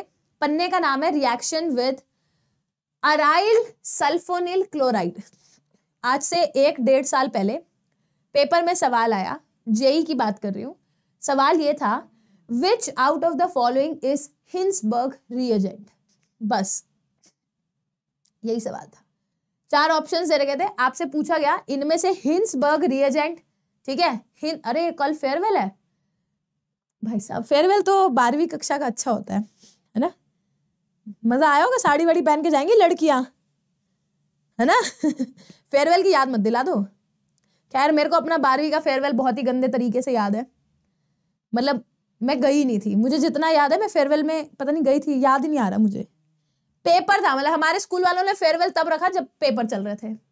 तो गंदी कहानी थी। कल फेयरवेल है हमारा हाँ। हमारा तो मतलब मुझे याद ही नहीं, भाई बचपन में मेरे को कुछ नहीं पता होता था। मतलब ठीक है यार, अब कई बच्चे चिंता मत करना कि हाई यार, बाकी बच्चे इंजॉय कर रहे हैं, हमने तो कभी फेयरवेल के मज़े ही नहीं लिए। बहुत लंबी ज़िंदगी है, घबराओ मत आईआईटी जाओ, है ना? जहाँ पर भी, जिस भी मेडिकल कॉलेज में जाओगे आईआईटी जाओगे, तुम्हें मज़े आ जाएँगे यार। फेयरवेल वेलवेल की टेंशन मत करो, ठीक है?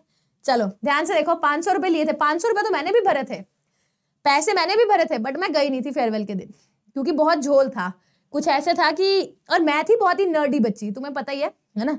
तुमने मेरी अगर कहानियाँ सुनी है तो तुम्हें पता होगा मैं बहुत नर्डी बच्ची थी। तो फेयरवेल पे जाना तो दूर, पैसे मैंने दिए थे, मुझे याद है है ना? पैसे तो ज़बरदस्ती लिए थे हमारे स्कूल वालों ने। मतलब क्या इलेवेंथ वालों? नहीं यार, कैसी बातें कर रहे हो? फेयरवेल में हम पैसे देते थे जब हम इलेवेंथ में होते हैं। ट्वेल्थ में तुमको फेयरवेल मिलती है। ऐसा था। तो मैंने पिछले साल पैसे तो दिए थे, ज़बरदस्ती देने पड़ते तुम्हें पता ही है। फेयरवेल में नहीं गई मैं। डमी स्टूडेंट है। डमी स्टूडेंट बेचारे अलग ही होते हैं। डमी हाँ, स्टूडेंट्स की अलग कहानी है। डमी वाले घबराते क्यों हैं? अरे पूरी लाइफ पड़ी है। फेयरवेल में क्या है? है ना? देखो अच्छी अच्छी जगह तुमने देखो बारहवीं कर लो। उसके बाद अच्छे कॉलेज में जाओगे। पढ़ लो यार मेरा तबीयत खराब है। मान लो बारहवीं करके अच्छे कॉलेज में जाओगे। फिर जो चौथे साल में फेयरवेल होती है ना भाई वो अलग होती है। जब तुम तीसरे साल में होते हो और अपने सीनियर्स को फेयरवेल देते हो वो अलग होती है। फिर जब तुम्हारी फेयरवेल होती है, वो बहुत ही बढ़िया होती है, ठीक है? फिर तुम मान लो, तुमने जॉब ज्वाइन करी, ठीक है? जो तुम्हारी पहली कंपनी होगी, जहाँ पे तुम काम करोगे।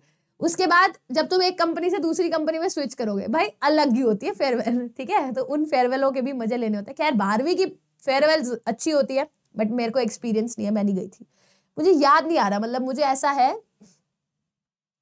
इलेवेंथ में गई थी मैं क्योंकि इलेवेंथ में इतना प्रेशर नहीं था ट्वेल्थ में मुझे या, कुछ याद नहीं है मतलब ऐसे ब्लैंक है कि गई थी नहीं और फ़ोन तो था नहीं। तो फ़ोन अब फ़ोटोज़ होए मतलब मेरे को तो अपनी रुड़की भी की फ़ोटोज़ भी अपने ना दोस्तों से अब मंगवानी पड़ती है यार फ़ोटोज़ हैं तो भेज दो। फिर मैं ड्राइव में रखती हूँ कि भाई उस टाइम मेरे पास फ़ोन नहीं था मुझे याद है जब मुझे डिग्री मिली थी ना तब भी मेरे पास फ़ोन नहीं था। तो आ, हमने मतलब जब जिन्होंने, जो भी हमारे फ्रेंड सर्कल में लोग थे, सबने फ़ोटोज़ वोटोज खींची तो मैंने उनको कहा था ड्राइव पे शेयर कर देना। मतलब आज तक मेरे पास ड्राइव पे है मतलब मेरे पास फ़ोन नहीं था उस टाइम ठीक है? आप तो एक्सेप्शनल बढ़ा रहे हो। नहीं नहीं, कोई एक्सेप्शन नहीं ध्यान से देखो, चलो। देखो, अब यही सवाल आया था पेपर में। चार ऑप्शन से कह रहे हैं इनमें से हिंसबर्ग रिएजेंट कौन है? अब बताओ यार, कितने प्यारे एनसीआरटी वाले बोल्ड में लिख के दे रखा है हिंसबर्ग रिएजेंट का फॉर्मूला है C six H five SO two C L अब जिनको नहीं पता, पहले मैं अपने तरीके से समझाऊँगी। C six H five SO two C L इसको बोलते हैं हिंसबर्ग रिएजेंट। अब आपके पेपर में हिंसबर्ग रिएजेंट का कॉमन नेम पूछ ले, आयुपेक नेम पूछ ले तो लिख देना benzene sulphonyl chloride C six H five SO two C L इसको हिंसबर्ग रिएजेंट बोलते हैं। होता क्या है? मान लो आपने आर एन एच टू की रिएक्शन करी रटना नहीं है, बहुत ही प्यारा टॉपिक है C six H five SO two C L के साथ। तो इतना तो चमक रहा है ना, यहाँ से एच निकालो, यहाँ से सी एल निकालो, क्या बन जाएगा? R N H S double bond O double bond O benzene अब ये कंपाउंड मतलब primary amine C six H five SO two C L के साथ रिएक्शन कर लेगा। रिएक्शन होने के बाद आपको नज़र आ रहा है कि ये वाला जो हाइड्रोजन है, ये एसिडिक है। यानी कि अगर आप कल को इसको बेस के अंदर डालो तो ये बेस में सोल्यूबल हो जाएगा। क्यों सोल्यूबल हो जाएगा? क्योंकि आपका हाइड्रोजन एसिडिक है। हाइड्रोजन क्यों एसिडिक है? ध्यान से देखो, क्योंकि एक बार H प्लस निकलता है तो ये जो एनायन बनेगा, ये बहुत ही प्यारा है। ये देखो कितना बढ़िया रेजोनेंस स्टेबलाइज्ड है। तो प्राइमरी अमीन C6H5SO2Cl के साथ रिएक्शन भी करता है। जो प्रोडक्ट बनता है, वो NaOH या KOH में सोल्यूबल होता है। तो ये तो कथा हो गई प्राइमरी अमीन की। अब सेकेंडरी अमीन के साथ क्या कहानी होती है? सेकेंडरी अमीन में क्या है? आर टू एन एच और आप इसकी रिएक्शन कर रहे हैं C six H five SO two C L के साथ। तो पहले तो आपको पता ही है एच और सी एल को निकाल दो। क्या बन जाएगा? आर एन आर यहाँ पर आ जाएगा S double bond O double bond O ये। और और और और दिक्कत हो गई। क्या आपको नज़र आ रहा है? इसके अंदर तो कोई एसिडिक हाइड्रोजन है ही नहीं। अगर इसके अंदर कोई एसिडिक हाइड्रोजन नहीं है, तुम के में डालोगे तो रिएक्शन होगी नहीं। अब अगर मैं रिएक्शन कराती हूँ टर्शरी अमीन की आर थ्री एन ले ले ले अब तो दिक्कत होगी। क्या दिक्कत हो गई? मैम यहाँ पर एच ही नहीं है। अगर एच ही नहीं है तो एच कैसे निकलेगा? मतलब टर्शरी अमीन रिएक्शन ही नहीं करता। ये था distinction of primary secondary tertiary amine देख लो।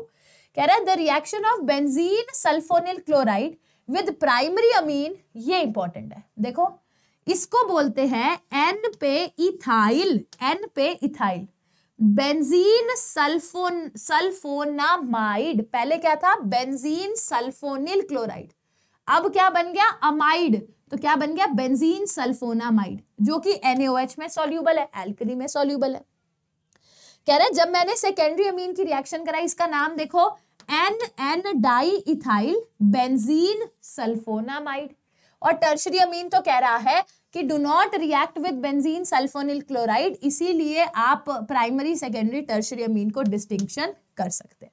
तो ये एनसीईआरटी में जो भी दे रखा था, मैंने अपने तरीके से आपको थोड़ा सिंप्लीफाई करके समझा दिया। क्या ये बात सबको अच्छे से चमक गई? ऑल गुड है? ठीक है? डन है डन है? ठीक है? मैम, आपसे बात करनी है, कैसे कर सकते हैं? प्लीज़ टेल मी मेल कर देना। है ना? क्लासेस हो रहा है at the rate Gmail dot com पे, जो भी क्वेरी है मेल कर देना। ठीक है? आई विल ट्राई और अपना फ़ोन नंबर लिख देना। ठीक है? चलो, आगे देखो। इलेक्ट्रोफिलिक सब्सटीट्यूशन रिएक्शन एक गाना मैं गाती हूँ, गाना याद नहीं आ रहा। आज हमारे दिल में अजब सी उलझन है। सामने बैठे सवाल, मन में उलझन है। तुम मानोगे नहीं? ये जो सवाल तुम्हें दिख रहा है ना ये आपके नीट का या आपके जेई का या आपके बोर्ड्स का। मतलब हर पेपर का फेवरेट सवाल है। आप इसको पीवाई क्यों कह दो? तुम इसको जेई में भी डाल दो तुम इसको बोर्ड्स में भी डाल दो और मैं तुम्हें प्रूफ दे सकती हूँ। है ना? तुम इसको नीट में डाल दो। हर एक पेपर में सवाल आता है। सुनो। कह रहे अगर आपने एनिलीन ले लिया पता है एनिलीन जो है, होता है ना ये हाईली एक्टिवेटेड है। हाईली एक्टिवेटेड क्यों है? क्योंकि आपको नज़र आ रहा है कि ये वही बिंदी इफ़ेक्ट हमने किया था, कोमोलिका बिंदी, गोपी बेन, है ना, कोकिला बेन बिंदी। ये बेंजीन को इलेक्ट्रॉन देगा। ये इतना एक्टिवेटेड है कि अगर आप इसकी रिएक्शन ब्रोमीन वाटर के साथ कराओगे तो ब्रोमीन यहाँ यहाँ यहाँ तीनों जगह पे आएगा। क्या बन जाएगा? Two four six tri bromo aniline जो कि व्हाइट कलर का होता है। ये व्हाइट कलर का पीपीटी होता है two four six tri bromo aniline मतलब यार अब प्रॉब्लम हो गई। मेरे को एक ब्रोमीन चाहिए था। मेरे पास तीन तीन ब्रोमीन आ गए। मेरे को ये बात पसंद नहीं है। मैंने कहा तो मैम ये जो हाईली एक्टिवेटेड नेचर है एनिलीन की, इसको थोड़ा कंट्रोल करो। तो हमने कहा, शादी करा दो इसकी। सामने देखो, मान लो ये NH2 था, इसके पास बहुत पैसा था और बहुत दानी था, ये मैं नहीं हूँ। ठीक है, ये बहुत पैसा, पैसे वाला था, बहुत दानी था। देखो, अपने रिश्तेदारों को, सासू माँ को, मम्मी को, पापा ने सासू माँ ने इसकी शादी भी हुई थी। फिर हमने कहा, यार, तू इतना इलेक्ट्रॉन दान करा, फिरता है, जिसकी वजह से तू बहुत रिएक्टिव है। क्यों ना तेरी शादी कराई जाए? फिर हमने इसको शादी के बंधन में बांट दी, बाँध दिया। C six C H three C O O C O C H three pyridine की प्रेजेंस में हमने रिएक्शन कराई। ये पिरीडीन है ना, पंडित जी के तौर पे आए। हमने कहा, यहाँ से H निकालो, यहाँ से एसिटिक एसिड निकाल दो। क्या बन गया C six H five C six H five N H C O C H three आप ध्यान से देखना। भाई साहब, ये कौन है? इसका पति। मैं जनरलाइज नहीं कर रही बात को, मैं बस ऐसे एग्ज़ाम्पल दे रही हूँ। ये इसका पति।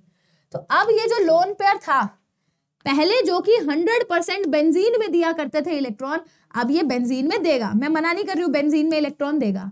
मगर अब ये अपने पति देव को भी इलेक्ट्रॉन देगा। हमने इसको शादी के बंधन में बांट दिया। बाँध दिया। अब हुआ क्या? ये बेंजी, अपने पति को अगर सौ मतलब मान लो पहले बेंजीन को सौ दे रहा था तो अब अपने पति को बीस देगा, बेंजीन को अस्सी देगा। मतलब अब एनएच के ऊपर जो लोन पेयर था, वो डीलोकलाइज हो गया दूसरी जगहों पे तो बेंजीन को नहीं मिल रहा। तो इस तरीके से हमने क्या किया? एनिलीन की रिएक्टिविटी को कंट्रोल किया। ये पूरी कहानी इन्होंने इंग्लिश में लिख रखी है। कह रहे this is done by protecting the NH2 group with acylation with acetic anhydride and then carrying out the desired substitution तो मेरा एनिलीन एनिलीन अब इसका नाम देखो। ध्यान से देखना। मेरे पास है C H three C O N H two मतलब ये है अमाइड इथेनामाइड एन पे फिनाइल है। एन फिनाइल इथेनामाइड इसी का नाम है एसिटनलाइड इसी का नाम है एसिटनलाइड ये नहीं चमकता, नहीं आता। अभी भी मैं अगर इस पे हाथ रख लेती ना, तुम्हें बोलती, बताओ एसिटनलाइड का स्ट्रक्चर तुम्हें नहीं आता। सही कह रही हूँ ना? तुम्हें नहीं आता एसिटनलाइड का स्ट्रक्चर तो याद रखना। एसिटनलाइड मतलब अमाइड है ना? एसिटिक एसिड के साथ अमाइड बनाना है एनिलीन का। एसिटनलाइड एसिटिक एसिड के साथ अमाइड बनाना है एनिलीन का तो एसिटिक एसिड के साथ एसिटिक एसिड के साथ अमाइड बना दो एनिलीन का। तो क्या बन गया? एसिटनलाइड अब इसके अंदर अगर आप ब्रोमीन डालोगे एसिटिक एसिड की प्रेजेंस में तो वो एक ही जगह पे जाता है। देखो, मेरे को पैरा पे गया। मतलब क्योंकि आपने उसकी, है ना, वो जो शक्ति थी, वो थोड़ी कम कर दी। अब आप इसकी हाइड्रोलिसिस कर दो, चाहे एसिडिक मीडियम में, चाहे बेसिक मीडियम में, ये गायब हो जाएगा। क्या बन जाएगा? फोर ब्रोमो एनिलीन ये मैंने अपने तरीके से समझाया जो कि एनसीआरटी में दे रखा है। ठीक है? चलो डन ये भी कंप्लीट हो गया। अब ध्यान से देखते हैं। अब ये एक छोटा सा पॉइंट है। पॉइंट का नाम है नाइट्रेशन ठीक है? आप बिलीव नहीं करोगे। इतना प्यारा पॉइंट है। यहाँ से कितनी बार सवाल पेपर में आया है। नाइट्रेशन क्या होता है? आपको मैं बता देती हूँ। देखो जब आप आ, ये पूरा पैराग्राफ खैर मेरे को पढ़ना है। कह रहे direct nitration of aniline gives oxidation product in addition to the nitro derivative हुआ क्या? जब आप एनिलीन की ऑक्सीडेशन करते हैं, मैंने क्या बताया? है ना? मतलब एनिलीन की नाइट्रेशन करते हैं। एनिलीन ऑलरेडी इतना रिएक्टिव है, इतना इलेक्ट्रॉन रिच है, कि अगर आप उसकी नाइट्रेशन करने की कोशिश करेंगे, वो ऑक्सीडाइज तक हो जाता है। बड़ा मुश्किल होता है। तो हम क्या कहते हैं? मोरोवर एक प्रॉब्लम होती है। ध्यान से देखो।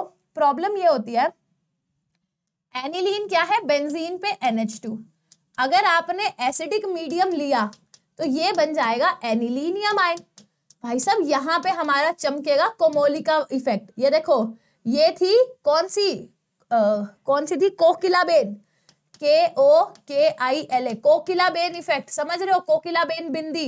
ये क्या था? इलेक्ट्रॉन डोनेटिंग ग्रुप था. अब ये देख रहे हो? नागिन बिंदी है. नागिन.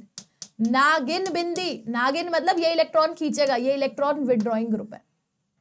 एक बात बताओ, अगर इलेक्ट्रॉन विड्रॉइंग ग्रुप की आप नाइट्रेशन कराने पे तुले हुए हो H N O three H two S O four डालोगे तो डोंट यू थिंक अब ये इनकमिंग ग्रुप को इनकमिंग ग्रुप को मेटा पोजिशन पे डायरेक्ट करेगा?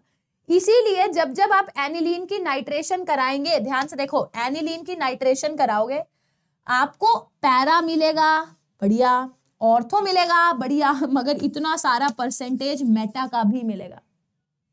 ये जो परसेंटेज है, ये जेई में 2020 और 21 में इतनी बार पूछे गए मतलब हर शिफ्ट में सवाल था। तो मैं बता देती हूँ, सबसे ज़्यादा मिलता है पैरा, फिर मिलता है मेटा फिर मिलता है ऑर्थो सबसे ज़्यादा प्रोडक्ट मिलेगा पैरा नाइट्रो एनिलीन फिर मिलेगा मेटा नाइट्रो एनिलीन फिर मिलेगा ortho nitro aniline ortho nitro aniline केवल दो परसेंट मिलता है। अब ये पूरी की पूरी चीज़ है। ये ये जो मैंने अभी समझाया, वही यहाँ पर मैंने लिख दिया। फिर कह रहा है, मान लो आपको इतना ऐसे नाइट्रेशन नहीं कराना तो कोई बात नहीं, प्रोटेक्शन कर दो।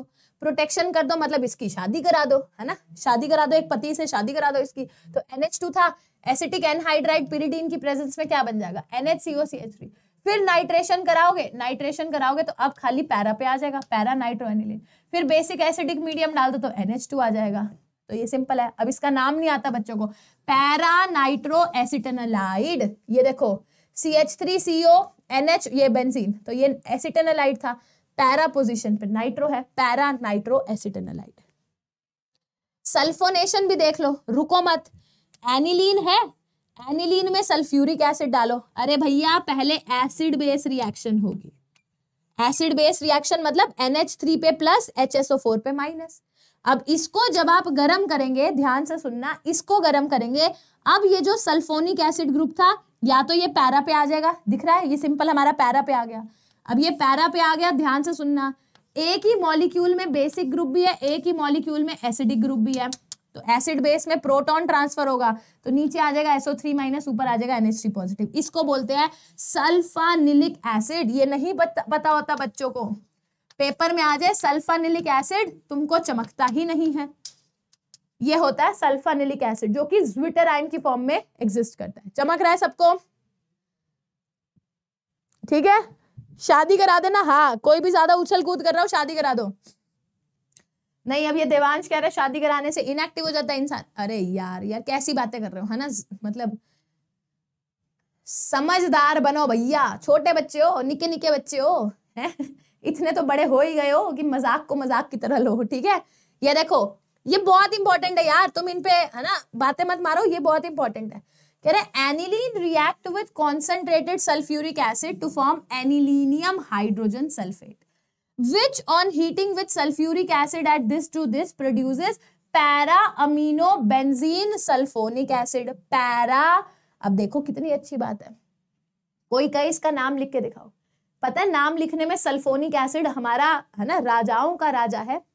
बाहुबलियों का बाहुबली है, ये वन आएगा, ये two three four para amine benzene sulphonic acid para amino benzene sulphonic acid commonly known as sulphanilic acid the major product अब ये तुम्हारे ही पेपर में आता है कि सल्फानिलिक एसिड में कितने कार्बन एटम sp2 हाइब्रिडाइज्ड है।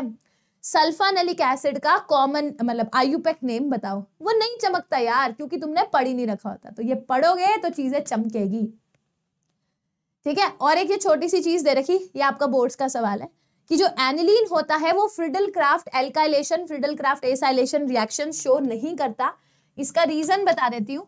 ये जो एनिलीन है, ये एक अच्छा खासा बेस होता है। वेरी गुड बेस ठीक है? क्योंकि ये इलेक्ट्रॉन रिच है। तो ये ल्यूइस बेस की तरह बिहेव करेगा।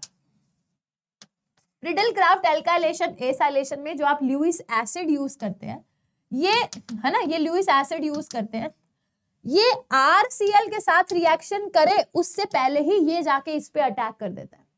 तो ये बचता ही नहीं है एल सी एल थ्री तो रिएक्शन चलती नहीं आगे। Due to the salt formation with ammonium chloride the Lewis acid which is use as a catalyst तो आपका ल्यूइस एसिड ही बेकार हो जाता है, जिसकी वजह से ना तो फ्रिडल क्राफ्ट एल्काइलेशन होती, ना फ्रिडल क्राफ्ट एसाइलेशन होती। ठीक है? हाँ हाँ हाँ मेरे को पता है। ठीक है? चमक गया सबको, यहाँ तक की कहानी ऑल गुड है क्लियर है। चलो, अब मेरे को ये देख लो, इनसे बाहर सवाल नहीं आते हैं। C two H five N H two C six H five N H two ये तुम कर लोगे। ये करके दिखाओगे जरा तीसरा सवाल। देखते हैं किसने कितनी समझदारी से चैप्टर समझा है। ये करके दिखाओ। और ये एक होमवर्क है तुम्हारा। Nine nine point eight question homework है, ज़रूर करना। पहले मेरे को ये करके दिखा दो। एक मेरे पास है C H C H three N H two अरे अरे C H three N H two एक है सी पे एन पे दो सी है। सेकेंडरी अमीन है मतलब। मेरे पास सेकेंडरी अमीन थोड़ा सुंदर ही लिख देते हैं, चलो। अरे हाँ ये लिख के दिखाना जरा। बेसिक कैरेक्टर का आंसर दे दो। पहला है C H three N H two दूसरा है C H three N H C H three तीसरा है C H three N C H three C H three चौथा है C six H five N H two और पांचवा है C six H five C H two N H two मतलब जो तुमने थ्री ट्वेंटी वन सीखा three twenty one three one two सीखा, वो कतई सिंपल था। पेपर में ये तो आता ही है, मगर एक अच्छे लेवल का सवाल आता है, वो ये है। जल्दी से करके दिखाओ। बेसिक स्ट्रेंथ के ऑर्डर में अरेंज कर दो। Arrange in the following arrange the following in the order of basic strength मैं मान जाऊँगी अगर तुमने ढंग से कर दिया। ढंग से कर दिया तो मैं मान जाऊँगी, करो। फ़र्स्ट अटेम्प्ट कम अच्छा गया है तो सिर्फ़ सेकेंड अटेम्प्ट को फोकस करें या जई एडवांस पर भी प्लीज़ बता दीजिए। अगर तो तुम ट्वेल्थ ही हो तो पहले सेकेंड अटेम्प्ट और बोर्ड को फोकस करो। If you are a dropper लगभग सिक्सटी सेवेंटी परसेंट मेन्स को और थर्टी फोर्टी परसेंट एडवांस को फोकस करो। करें? सबसे घटिया कौन होगा? सबसे घटिया ये होगा, जिसको अपने इलेक्ट्रॉन पेयर सासू माँ को देने पड़ते हैं, सबसे घटिया ये होगा। नंबर लिख देते हैं ए बी सी डी ई। तो सबसे घटिया तो डी हो जाएगा। उसके बाद ये एन एच टू है और और और, और ये सेकेंडरी है ये टर्शरी है और ये है हमारा प्राइमरी मतलब या क्या है? यहाँ लगा देते हैं हाँ अब मुझे बताओ सबसे घटिया तो डी होगा है ना? सबसे घटिया तो डी होगा डी के बाद बताइए क्या होना चाहिए डी के बाद बताओ। सबसे बढ़िया कौन सा होना चाहिए? मैम देखो ये प्राइमरी काफ़ी अच्छा है। प्राइमरी सबसे अच्छा होना चाहिए तो ए सबसे आगे आएगा। मैम, अब एक बात बताओ, वैसे तो ये भी प्राइमरी है मतलब अच्छा इतना हमें समझ आ गया कि फिर बी आना चाहिए, फिर सी आना चाहिए, है ना? बी आना चाहिए सी बस मुझे ई e का बता दो ई e कहाँ आना चाहिए? अब देखो, मेरी बात बताओ, ये NH2 इलेक्ट्रॉन पेयर देना चाहता है, मगर ये पीएच माइनस आई इफ़ेक्ट लगाएगा, भाई सब खींचेगा आंदे आंदे इलेक्ट्रॉन्स आंदे ऐसे खींच रहा है। है ना, वो टग ऑफ़ वॉर नहीं होता, ऐसे खींच रहा है। जब ये इससे खींचेगा ये NH2 ना चा, मतलब चाहते हुए भी इलेक्ट्रॉन पेयर दे नहीं पाएगा। तो बेकार है। भले ना प्राइमरी हो मगर है घटिया क्योंकि बेंजीन का माइनस आई इफ़ेक्ट लग रहा है। तो होना चाहिए ये। D E C A B A B C E D आएगा। ए और अच्छा एक सेकेंड एक सेकेंड एक सेकेंड मेरे को एक्वा सॉल्यूशन में लिखना था ना एक सेकेंड वन मोर थिंग रुक जाओ। एक्वा सॉल्यूशन में लिखना था ना एक्वा सॉल्यूशन में हमने क्या किया था? टू वन थ्री आना चाहिए। तो पहले बी आएगा माई बैड फिर आएगा ए अब चेक कर लो। बी ए सी ई डी आना चाहिए। पहले सेकेंडरी आएगा, फिर C H three N H two आएगा, फिर टर्शरी आना चाहिए, फिर ई e आना चाहिए, फिर ई e आना चाहिए। ये सही है। D E D E B C A नहीं आएगा। डी ई बी सी नहीं आएगा। थ्री वन टू आएगा। अरे भैया बेसिक स्ट्रेंथ जब तक गिवन ना हो, है ना? जब तक गैशियस स्टेट गिवन नहीं होगी गैशियस स्टेट गिवन नहीं होगी तो गैस को नहीं कंसीडर करेंगे। सब हम एक्वस मान के चलेंगे। We will consider all of them to be there in aqueous phase चमक गया? समझ गए कौन है ये संचिता? संचिता, समझ गए? देखो, अगर एक्वस नहीं भी बोला तो भी आपको मान के चलना है एक्वस क्योंकि बेस का मतलब है पानी में। ये जो पी के भी वैल्यूज़ भी दे रखी होती है, सब पानी में गिवन है। अगर गैशियस लिखा होगा, तभी गैशियस में लिखोगे। अगर नहीं लिखा तो एक्वस मान के चलोगे। ठीक है? एक्वस मान के चलोगे। तो तब तक एक काम करिए। एक मैंने कराया सवाल, ये दोनों सवाल होमवर्क करोगे। ये नहीं बनेंगे पेपर में। सही बता रही हूँ, इन दोनों को होमवर्क क्वेश्चन के तौर पे करोगे। ये दोनों सुपर इंपॉर्टेंट है, ये करो ना करो, वो सुपर इंपॉर्टेंट है। चलो। अब हम एक बार अपनी फ़ाइल सेव कर लेते हैं। फिर हम अपने आखिरी टॉपिक पर आएँगे। अरे भाई साहब, कौन से? चालीस पेजेस हमारे कंप्लीट हो चुके हैं। लास्ट के दस पेजेस हमारे बचे हैं, है ना? वी आर लेफ़्ट विद अच्छा सात बज के आठ मिनट हो गए हैं। आज जल्दी खत्म हो जाएगा क्या सेशन छोटा चैप्टर था, मैंने तुम्हें कहा था। लास्ट के दस पेजेस बचे हैं, इन दस पेजेस को भी निपटा लेते हैं, तभी मज़े करेंगे हम। और ये तो मैं देखो, तुम्हें मस्त तरीके से सिखाऊँगी। तुम्हें एनसीआरटी की टेंशन ही नहीं लेनी है। पहले मेरे को बताओ, समझ आ रहा है सब कुछ? किसी को कोई डाउट हो?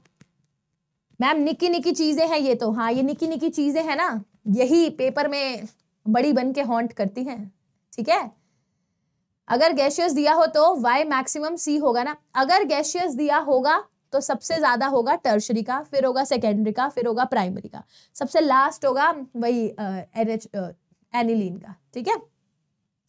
डी एंड एफ़ ब्लॉक कब होगा? डी एंड एफ़ ब्लॉक समय आने पर होगा। अभी ऑर्गेनिक करो, पहले कल बायोमोलिक्यूल्स करते हैं, फिर फ़िज़िकल करेंगे लास्ट में इनऑर्गेनिक कराऊँगी, ठीक है? चलो।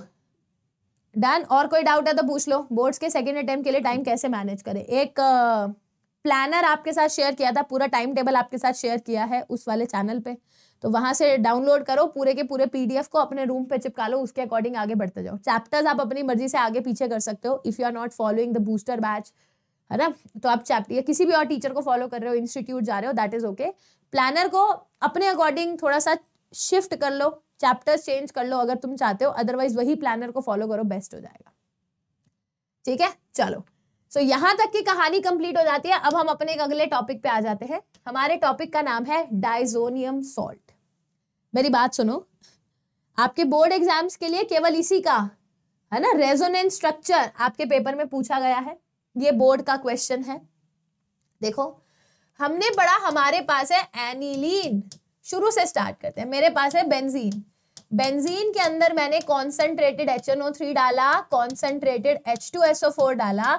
मेरे पास क्या बन गया? नाइट्रोबेंजीन। नाइट्रोबेंजीन में मैंने टिन एच सी एल डाला, या फिर F E H C L डाला, या फिर हाइड्रोजन डाला N I P T P D की प्रेजेंस में। मेरे ख्याल से सबको ये कहानी समझ रही है। क्या बन जाएगा?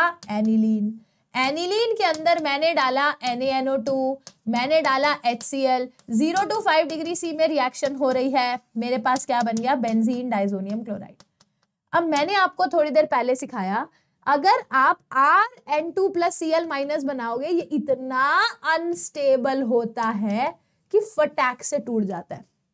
रिएक्शन ही नहीं हो पाती, फटैक से टूट जाता है, क्योंकि एन टू ग्रुप निकल जाता है। मगर यहाँ पर स्टिल कुछ देर के लिए मतलब टेम्परेचर भले मुझे बहुत कम मेंटेन करना पड़ता है बट स्टिल कुछ समय के लिए ये एग्जिस्ट करता है। क्यों एग्जिस्ट करता है? क्योंकि बड़े ध्यान से देखना, ये जो आपका बेंजीन डाइजोनियम क्लोराइड है, देखो primary aromatic amine forms arene diazonium salt which are stable for a very short time in the solution at low temperature zero to five degree C के लिए zero to five degree C तक ये soluble stable होता है थोड़े time के लिए। क्यों? क्योंकि अब आपकी जो बेंजीन है, वो इसको रेजोनेंस स्टेबलाइज करने में काम आती है। ये बन गया और यहाँ पर आ गया पॉजिटिव उसके बाद ये इधर जाएगा। इसका पूरा का पूरा रेजोनेटिंग स्ट्रक्चर आपके पेपर में ड्रॉ करने को आता है। फिर ये इधर जाएगा। जब ये इधर जाएगा, क्या बन जाएगा? है ना? ये इधर ये इधर यहाँ पर क्या हो गया? डबल बॉन्ड एन यहाँ double bond N minus plus यहाँ पर आपके पास प्लस है। फिर ये इधर आएगा, ये इधर आएगा। मेरे पास क्या बन गया? ये इधर ये इधर ये इधर एन ट्रिपल बॉन्ड एन पे प्लस तो आपको दिख गया आपका बेंजीन डाइजोनियम क्लोराइड क्योंकि रेजोनेंस स्टेबलाइज है, इसीलिए थोड़ी देर के लिए एग्जिस्ट कर देता है। देखो, इन्होंने इस वाले बॉन्ड को लिया, मैंने उस वाले बॉन्ड को लिया one and the same thing उसमें कोई टेंशन नहीं है। चलो ठीक है मैम ये बेंजीन डाइजोनियम क्लोराइड देखो C six H five N H two ले लिया N N O two H C L की प्रेजेंस में zero to five degree C पे रिएक्शन कराई। C six H five N two plus C L minus N A C L और पानी, ये आ गया। मैम एक बार बताओ, इसकी कुछ फ़िज़िकल प्रॉपर्टी से सवाल आ सकता है आ सकता है? देखो, कह रहा है, जो आपके पास बेंजीन डाइजोनियम क्लोराइड है it is a colourless crystalline solid crystalline है, आपको दिख रहा है चार्जेस है इस पे कलरलेस है। It is readily soluble in water and is stable in cold but reacts with water when warm अगर इसको ठंडे पानी के साथ रखो तो पानी में सोल्यूबल है। मगर गर्म पानी के साथ, माड़ा सा गर्म पानी भी ले लो ना जैसे जिससे गागल करते हैं, उतना गर्म पानी भी ले लो तो ये रिएक्शन कर जाएगा। It decompose easily in dry state dry state में डीकम्पोज हो जाता है। बेंजीन डाइजोनियम फ्लोरोबोरेट इस पानी में इनसोल्यूबल और वो रूम टेम्परेचर पे स्टेबल होता है। देखो क्या लिखा है? बेंजीन डाइजोनियम फ्लोरोबोरेट, है ना? पानी में कम इनसोल्यूबल होता है और वो रूम टेम्परेचर पे स्टेबल होता है। अब यही छोटी सी बात मैं तुम्हें पाँच मिनट में इसके बारे में थोड़ा सा गाइड करूँगी। ये छोटा सा डब्बा मार्क कर लो, अभी आई विल गाइड यू देखो, अब क्या क्या रिएक्शन होती है? ध्यान से समझते हैं। ये मेरे पास है बेंजीन डाइजोनियम क्लोराइड आपने इसकी रिएक्शन कराई कॉपर के सॉल्ट के साथ C U C U two C L two H C L के साथ। या फिर आप इसकी रिएक्शन करा रहे हैं C U two B R two H B R के साथ। ये दोनों, कई बुक्स में सी यू सी एल भी लिखा होता है। सी यू सी एल की रिएक्शन आप एच सी एल के साथ करा रहे हैं दैट इज़ ओके या फिर आप सी यू सी एन के साथ रिएक्शन करा रहे हैं के सी एन की प्रेजेंस में। कुछ नहीं होगा एन टू प्लस एक अच्छा लिविंग ग्रुप है। यहाँ क्लोरीन आ जाएगा, यहाँ ब्रोमीन आ जाएगा, यहाँ पे वंस अगैन क्लोरीन आ जाएगा, यहाँ पर वंस अगैन सी एन आ जाएगा।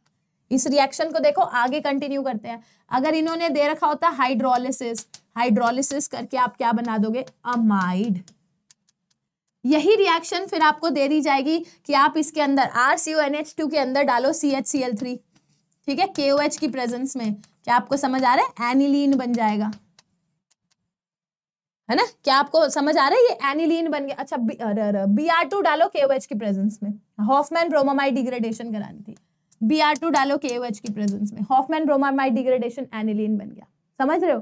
तो वो ऐसे आगे रिएक्शन को, हो सकता है उसका मन करे, कह, नहीं नहीं नहीं, हम तो हाइड्रोजन पैलेडियम डालेंगे तो आपको चमक रहा है रिडक्शन हो जाएगी C H two N H two यही कन्वर्जन इन्हीं को तो कहते हैं। और क्या होते हैं कन्वर्जन यही तो है कन्वर्जन समझ गए? तो कह रहे हैं, अगर आप सॉल्ट यूज़ कर रहे हैं एसिड के साथ the reaction is known as Sandmeyer reaction confuse मत हो जाया करो सैंड मेयर और गेटरमैन रिएक्शन में। सैंड मेयर रिएक्शन में सॉल्ट यूज़ करते हैं। हालाँकि अगर आप केवल कॉपर को एचसीएल के साथ या कॉपर को एच के साथ यूज़ कर रहे हैं, इस रिएक्शन को बोलते हैं गेटरमैन रिएक्शन ठीक है? अगर सॉल्ट यूज़ करोगे, रट्टा मारने का तरीका बताओ मतलब रट्टा क्या? जिन बच्चों को कंफ्यूजन होता है कि कौन सा क्या नेम रिएक्शन है। सैंड मेयर एस से स्टार्ट हो रहा है एस ए एन डी तो आप इसका नाम रख दो S L T salt use करोगे तो sand simple copper acid metal और एसिड यूज़ करोगे तो रिएक्शन का नाम है गेटरमैन रिएक्शन चमक गया, आगे देखो। कह रहे मान लो यही मेरे पास N two plus C L minus है, ठीक है ना, यहाँ लिख देती हूँ। कॉपर यूज़ करो एच सी एल की प्रेजेंस में। कॉपर यूज़ करो एच बी आर की प्रेजेंस में। कोई टेंशन लेने की ज़रूरत नहीं है, यहाँ क्लोरोबेंजीन आ जाएगा, यहाँ ब्रोमोबेंजीन आ जाएगा। फिर वो कह रहा है, आप के आई यूज़ करो, कोई टेंशन की बात नहीं है आइडोबेंजीन आ जाएगा। तो देखो बेंजीन पे आप किसी भी ग्रुप को इंट्रोड्यूस कर सकते हो। You can introduce whichever group you want आगे देखना। अगर आपने इसकी रिएक्शन कराई एच बी एफ़ फोर के साथ, ये सबसे इंपॉर्टेंट रिएक्शन है। बल्ब बना लो यहाँ पर, ये बहुत इंपॉर्टेंट है। तो पहले बनेगा N two positive B F four minus और यही था। N two positive B F four minus यही था। अगर अब आपने इसको थोड़ा सा भी गर्म किया, थोड़ा सा भी गर्म किया तो ये बनाएगा फ्लोरोबेंजीन। देखो, ये बनाएगा फ्लोरोबेंजीन। बी एफ़ थ्री निकलेगा एन टू निकलेगा। ये यहाँ पे लिखा हुआ था, देखो। कह रहे हैं, benzene diazonium fluoroborate is water insoluble. ये पानी में इनसोल्यूबल होता है और ये स्टेबल होता है रूम टेम्परेचर पे। इसीलिए जब भी हम मैक्सिमम रिएक्शंस करते हैं, आप खुद देखना एनसीईआरटी में एग्जांपल्स में फ्लोरोबोरेट बनाकर रिएक्शंस की जाती है। ये स्पैम करना बंद कर दो, तुम्हें लग रहा है ना मैं स्पैम का आंसर दूँगी, मैं बिल्कुल नहीं दूँगी। ठीक है? नहीं मिलेगा आंसर स्पैमिंग करोगे तो। ये हो गया। अब वो कह रहा है, इस N two plus B F four minus के अंदर आप एन डाल दो। आप एक काम करो, इसके अंदर सिंपल एन इसको सिंपल गर्म करोगे फ्लोरोबेंजीन बनेगा। इसके अंदर वापस से एन एनओ डाल दोगे तो नाइट्रोबेंजीन आ जाएगा। वापस से एन डाल दो, कहाँ गया? वापस से, ये देखो N two plus B F minus N two plus B F minus को गर्म करोगे, ये बन जाएगा। N two plus B F minus के अंदर एन एनओ टू डाल दोगे तो नाइट्रोबेंजीन बन जाता है, ठीक है? और देखो, अगर आपने इसी बेंजीन डाइजोनियम क्लोराइड के अंदर फॉर एग्ज़ाम्पल ये था N two plus C L minus आप इसके अंदर लेटर से पानी डाल दोगे। पानी डाल दोगे तो कुछ नहीं होगा ओ OH आ जाएगा। सिर्फ़ वार्म भी कर दोगे ना, अगर पानी डाल के वार्म कर दोगे तो फिनोल आ जाएगा। आप इस बेंजीन पे N two plus C L minus के अंदर लेटर से शराब डाल दो। शराब। शराब मतलब एथेनॉल एच आपका मन करे आप इसके अंदर एच थ्री पीओ टू डाल दो। ये कुछ नहीं करेगा। सिंपल बेंजीन में कन्वर्ट हो जाएगा। एच थ्री पीओ टू डाल दो। एसिटिक एसिड डाल दो। एथेनॉल सॉरी एसिटिक एसिड बोलते हैं एथेनॉल डाल दो। दिख गया? ये सिंपल आपको इसमें बेंजीन में कन्वर्ट करके दे देगा। पानी डाल दोगे ओ एच में आ जाएगा। तो जितने भी हमने बेंजीन डाइजोनियम क्लोराइड की रिएक्शन थी सारी एक ही जगह पे कर ली। ठीक है? सारी एक जगह पे कर ली। अब मैं लास्ट की दो रिएक्शंस करा रही हूँ। ये लास्ट ईयर जेई और नीट के पेपर में इनका बहुत ज़्यादा बोलबाला था।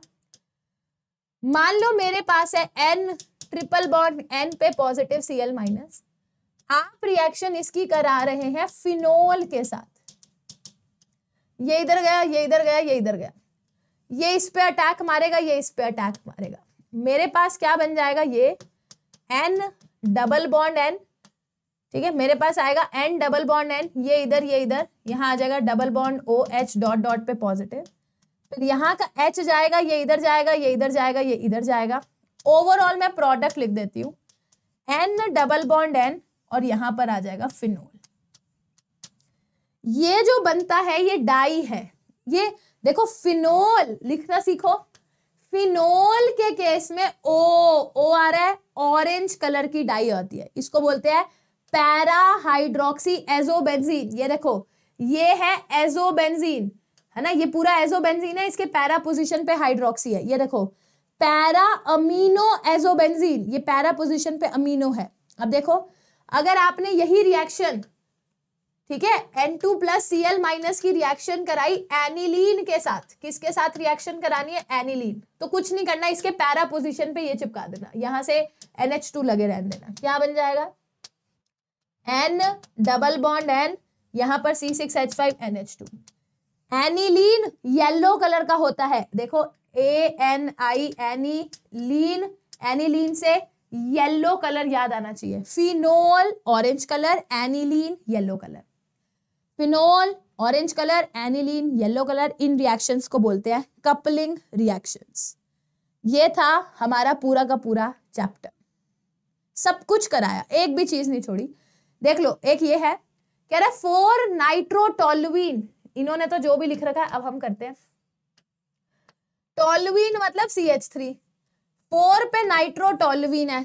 कह रहे इसको कन्वर्ट करो टू ब्रोमो बेंजोइक एसिड किसमें कन्वर्ट करना है? बेंजोइक एसिड और टू पोजीशन पे ब्रोमो लगाना है। मैंने कहा, मैम, क्या करें? टू ब्रोमो बेंजोइक एसिड मैं सोच रही हूँ, करे तो करे क्या?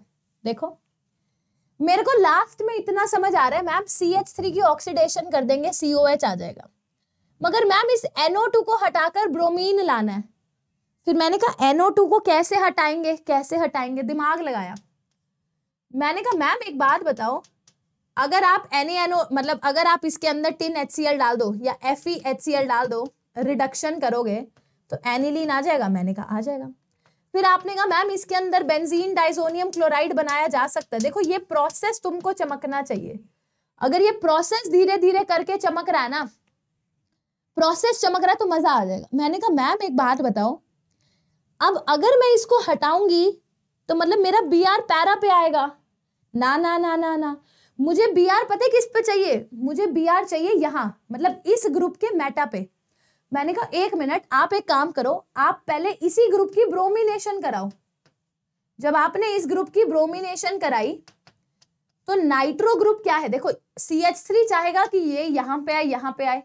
नाइट्रो चाहेगा कि मेरे मेटा पे आए। तो मैंने कहा, यार, ये बढ़िया है ब्रोमीन इधर आ गया एनओ टू इधर आ गया, ये बेस्टम बेस्ट है। ये बेस्टम बेस्ट हो गया। मैंने कहा, इसको गोली मारो। पहले ये नहीं कराना, पहले यही कराएँगे। फिर मैंने कहा, मैम, अब क्या करें?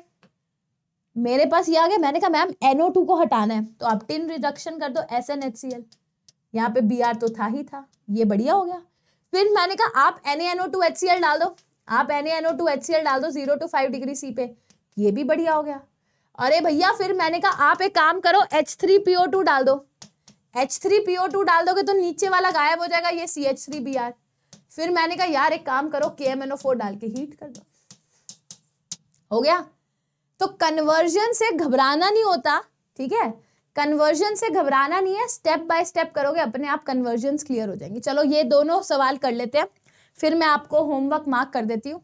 करो। थ्री मिथाइल एनिलीन थ्री पे मिथाइल है एनिलीन ये एनिलीन है वन टू थ्री पे मिथाइल है।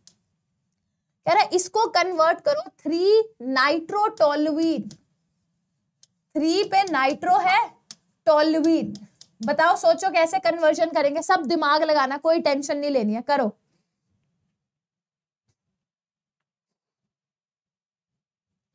क्या कह रहे हो? स्टार्टिंग में के एम एन ओ फोर डाल सकते हैं। यहाँ पर यहाँ पर के एम एन ओ फोर डाल दोगे। देखो स्टार्टिंग में के एम एन ओ फोर डालने से होगा क्या? ये तुम्हारा सीओएच में कन्वर्ट हो जाएगा। ये भी इलेक्ट्रॉन विड्रॉइंग ग्रुप बन जाएगा, ये भी इलेक्ट्रॉन विड्रॉइंग ग्रुप बनेगा तो फिर ब्रोमीन का आना बड़ा मुश्किल हो जाएगा। तो पहले ब्रोमीन को ले आओ, उसके बाद के एम एन ओ फोर डालना होता है। समझ गए?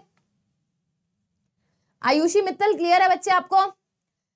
हाँ जी, बताओ बताओ बताओ। अब इसका आंसर बता दो, देखते हैं कौन कौन दिमाग लगा के इसका आंसर देगा। थ्री मिथाइल टोलवीन मतलब थ्री मिथाइल एनिलीन को थ्री नाइट्रोटोलवीन में कन्वर्ट करना है। मैं सोच रही हूँ, करूँ तो करूँ क्या? मैं सोच रही हूँ, करूँ तो करूँ क्या? सोचो। मेरे को कुछ ऐसे समझ आ रहा है। सी एच थ्री तो है ही है। क्या तुम्हें ये लग रहा है, मैम, एक बार N N O two H C L डालो? तो क्या बन जाएगा? अच्छा क्या तुम ये डाल सकते हो? N N O two H C डाल दिया तो N two plus C L minus आ जाएगा, और ये तो है ही फिर क्या मैं यहाँ पे एच बी एफ़ फोर डाल दू? एच बी एफ़ फोर डालते ही मुझे याद आ रहा है N two plus B F four minus बनेगा, और सी एच थ्री तो है ही है। फिर क्या याद आ रहा है कि मैम, इसके अंदर हम एन एनओ टू डाल सकते हैं? यही नहीं किया था, किधर गया?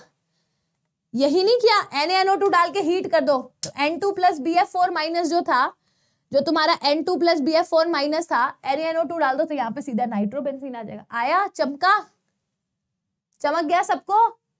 H N O three H N O three डालने से क्या हो जाएगा बताना? एच एन ओ थ्री डालोगे अभी अभी कराया था एच एन ओ थ्री डालोगे तो ये एनिलीन जो है ना तुम्हारा एनिलीनियम आइन में कन्वर्ट हो जाएगा, बेकार हो जाएगा प्रोसेस चलो, अब एक और, अगला सवाल लास्ट सवाल कर लो। एनिलीन एनिलीन को कन्वर्ट करना है one three tri, one three five tri bromobenzene भाई सब समझ के करना। One three five, one two three four five, one three five tri bromobenzene में। दिमाग लगा के करो। दिमाग लगा के करो, ये तो बहुत ही सिंपल है। बता दो।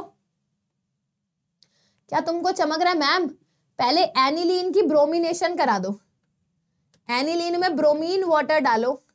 तो ये बनेगा यहाँ पे NH two two four six tri bromo. Two, अरे, है ना? टू फोर, उल्टा हो गया ना? हाँ तो तुम एक काम करो, पहले two four six tri bromo aniline बना दो। ऊपर लिख देते हैं। ये एनिलीन तो था ही था। टू पे, फोर पे, सिक्स पे, ट्राई ब्रोमो एनिलीन। उसके बाद तुम N NO two H C L डाल दो। N NO two H C L डाल दोगे। तो क्या बन जाएगा? N two plus C L minus एक बी आर यहाँ है, एक बी आर यहाँ है, एक बी आर यहाँ। कुछ नहीं, फिर तो शराब डाल दो एथेनॉल एथेनॉल डालने से ये हट जाएगा। आ गया one three five tri bromo aniline tri bromo benzene चमक गया? ब्रोमीन वाटर डालने से two four six tri bromo aniline बनेगा। उसके आगे भी तो करोगे। ठीक है? मैम नाइट्रेशन नहीं कर सकते क्या डायरेक्ट फ़र्स्ट पार्ट में। किसमें? फ़र्स्ट पार्ट में। कहा गया हमारा फ़र्स्ट पार्ट ये था ना? क्या कह रहे हो? इसके अंदर नाइट्रेशन कर दो। बच्चे, नाइट्रेशन इसलिए नहीं करते हैं क्योंकि नाइट्रेशन करने से एच डलेगा। एच एक एसिड है, ये एक बेस है तो ये इसको सीधा एच थ्री पॉजिटिव में कन्वर्ट कर देगा। तो जो रिएक्शन तुम कराने गए थे, वो बेकार हो जाएगी ना? रिएक्शन होगी ही नहीं, इसीलिए नाइट्रेशन करना अवॉइड करते हैं। नाइट्रेशन जानबूझ के नहीं करनी होती हमेशा। ठीक है? चलो केमिस्ट्री तो हो जाएगी इंग्लिश का क्या? मतलब अब मैम इंग्लिश तो नहीं पढ़ा सकती है, ठीक है ना? तो इंग्लिश खुद से पढ़ना सीखे। चलो, अब मैं कुछ कुछ सवाल मार्क कर रही हूँ जो तुम्हें हंड्रेड परसेंट करने हैं। This is one question this is one question this is one question give one chemical test to distinguish between following pair methylamine dimethylamine secondary and tertiary amine का सवाल आता है। Aniline and N methyl aniline आता है aniline and benzylamine आ सकता है। Account for the following pK of aniline is ये तो तुम कर लोगे। Ethyl amine is soluble in water whereas as aniline is not ये करोगे। आप ये भी करोगे। ऑल दो amino acid is ortho para but ये हाँ ये तो करोगे ही करोगे। ये पेपर में सवाल आता है। Aniline does not undergo Friedel ये मैंने करा दिया है। ये मैंने सब करा दिए हैं। Done all these question but still I want you to go through in case of the following P K B values ये घटिया घटिया। ये करोगे पी के बी वैल्यूज़ का? ये करोगे, ये सबसे इंपॉर्टेंट खतरनाक सवाल है। तुम्हें पेपर में पैराटोलविडीन क्या होता है समझता ही नहीं है, चमकता ही नहीं है बच्चों को। बेसिक स्ट्रेंथ ये तो बहुत ही सिंपल है, तुम कर लोगे बॉइलिंग पॉइंट का ऑर्डर करोगे सोल्यूबिलिटी इन वाटर ये ये तुम कर लोगे। आज ही एनसीईआरटी की थ्योरी में ही हमने किया। We have done all these things in theory conversion सारी करनी है, ठीक है? कन्वर्जन सारी करनी है। ये कपलिंग रिएक्शन पेपर में जनरली आती है डायजोटाइजेशन आती है एसाइलेशन पेपर में आती है। कन्वर्जन सारी करनी है। ये करोगे, ये घटिया है सिंपल सा सवाल है, ये करोगे ये करोगे, ये अच्छा सवाल है। This is good question fifth question ढंग से करोगे। सिक्स क्वेश्चन का लास्ट पार्ट इंपॉर्टेंट है। यहाँ पर बच्चे कंफ्यूज होते हैं, ये करोगे। ये पूरा कर, पूरा करोगे। ये तुमको आता है, ये करोगे। ये तुमसे बन, ये ये करोगे, पूरी पूरी रिएक्शन लिखना, पूरी, आधी लिख के नहीं आओगे, पूरी रिएक्शन लिखोगे। ये आसान है, ये आसान है, ये करोगे, ये ये कर लोगे। ये सिंपल है। Why are means less acidic and alcohol more soluble नहीं, ये तुमने कर लिया। ये सारा, देखो ये, अगर तुम एनसीआरटी e के क्वेश्चंस भी ढंग से कर रहे हो ना तो तुम्हें समझ आएगा कि आधे ज़्यादा क्वेश्चन तो मैम ने क्लास में ही डिस्कस किए। मैंने लिटरली बहुत सारे क्वेश्चन क्लास में तुम्हारे साथ कर लिए। तुम एक बार गो थ्रू करना। यू विल फील कि हाँ मैम मैक्सिमम तो क्लास में ही हो गया। ठीक है? चलो, जय श्री राम। हाँ जी प्लीज़ सी द मैसेज हाँ मैं मैसेज देख रही हूँ, बता दो। बुनियाद सीरीज़ इज़ सफिशियंट एनसीआरटी मतलब मेरे ख्याल से इससे बेस्ट एनसीआरटी तुमने कभी पढ़ी नहीं होगी। मतलब मैं एनसीआरटी को ऐसे लाइन बाय लाइन सिर्फ़ कहने मात्र के लिए नहीं पढ़ा रही हूँ। मतलब मैंने एक चीज़ नहीं छोड़ी है। कोई मतलब कोई चीज़ नहीं छोड़ी है।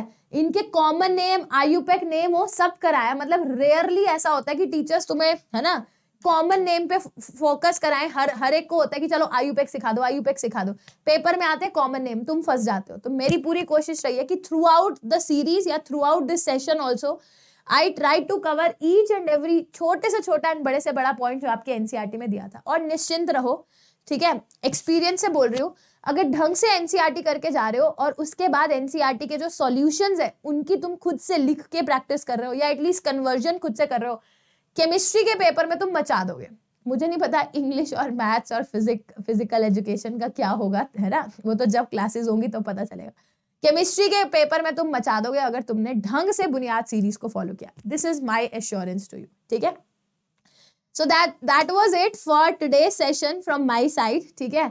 अब वैसे तो कल का सेशन मैं स्केड्यूल कर रही हूँ। कल का सेशन ग्यारह बजे होगा। बट फिंगर्स क्रॉस एक बार मेरा थोड़ा सा ना हाँ ये तबीयत ठीक हो जाए। उसके बाद ही सेशन लूँगी। तो दवाई खा के सोऊँगी ताकि कल हाँ बढ़िया तरीके से क्लास ले लूँ। ठीक है? चलो so that is it from my side अब जिन भी बच्चों को सेशन अच्छा लगा है मेक श्योर sure आप सेशन को लाइक ज़रूर करिएगा। Share it with all your friends ठीक है? And subscribe to the channel अगर अभी तक नहीं किया। We are very very close to है ना? टेन, अरे नाइन पॉइंट नाइन नाइन? वाह तो जल्दी से, है ना, वो कौन से लास्ट के बच्चे हैं जो अभी तक नहीं सब्सक्राइब करे हैं? तो फटाफट से सब्सक्राइब कर लो, आज ही आज, है ना, टेन के वीसीएंस तो हमारे साथ जुड़ जाने चाहिए, फिर अगला टारगेट हम एक और लेंगे। तो जैसे ही सेशन खत्म होता है I will upload the entire PDF app पर ऐप पे जिनको नहीं पता, बता देती हूँ कैसे जाना है। आप वोरा क्लासेस वीसी की ऐप डाउनलोड करेंगे फ़ोन में उसके बाद आप फ्री कोर्सेज में जाएँगे। Once you go to free courses उसके बाद बुनियाद करके एक फोल्डर आ रहा होगा। उसके अंदर दो सब सेक्शन है। क्लास ट्वेल्थ है क्लास इलेवेंथ है। क्लास इलेवेंथ में आपको इलेवेंथ के सारे नोट्स मिल जाएँगे। ट्वेल्थ में ट्वेल्थ के सारे नोट्स में डालती जा रही हूँ। तो follow this and you will be able to get all the notes as well ठीक है? बुनियाद ऑन टॉप हाँ जी, चलिए। So thank you so much अब हम मिलेंगे अगले सेशन में। टेक केयर बाय चलो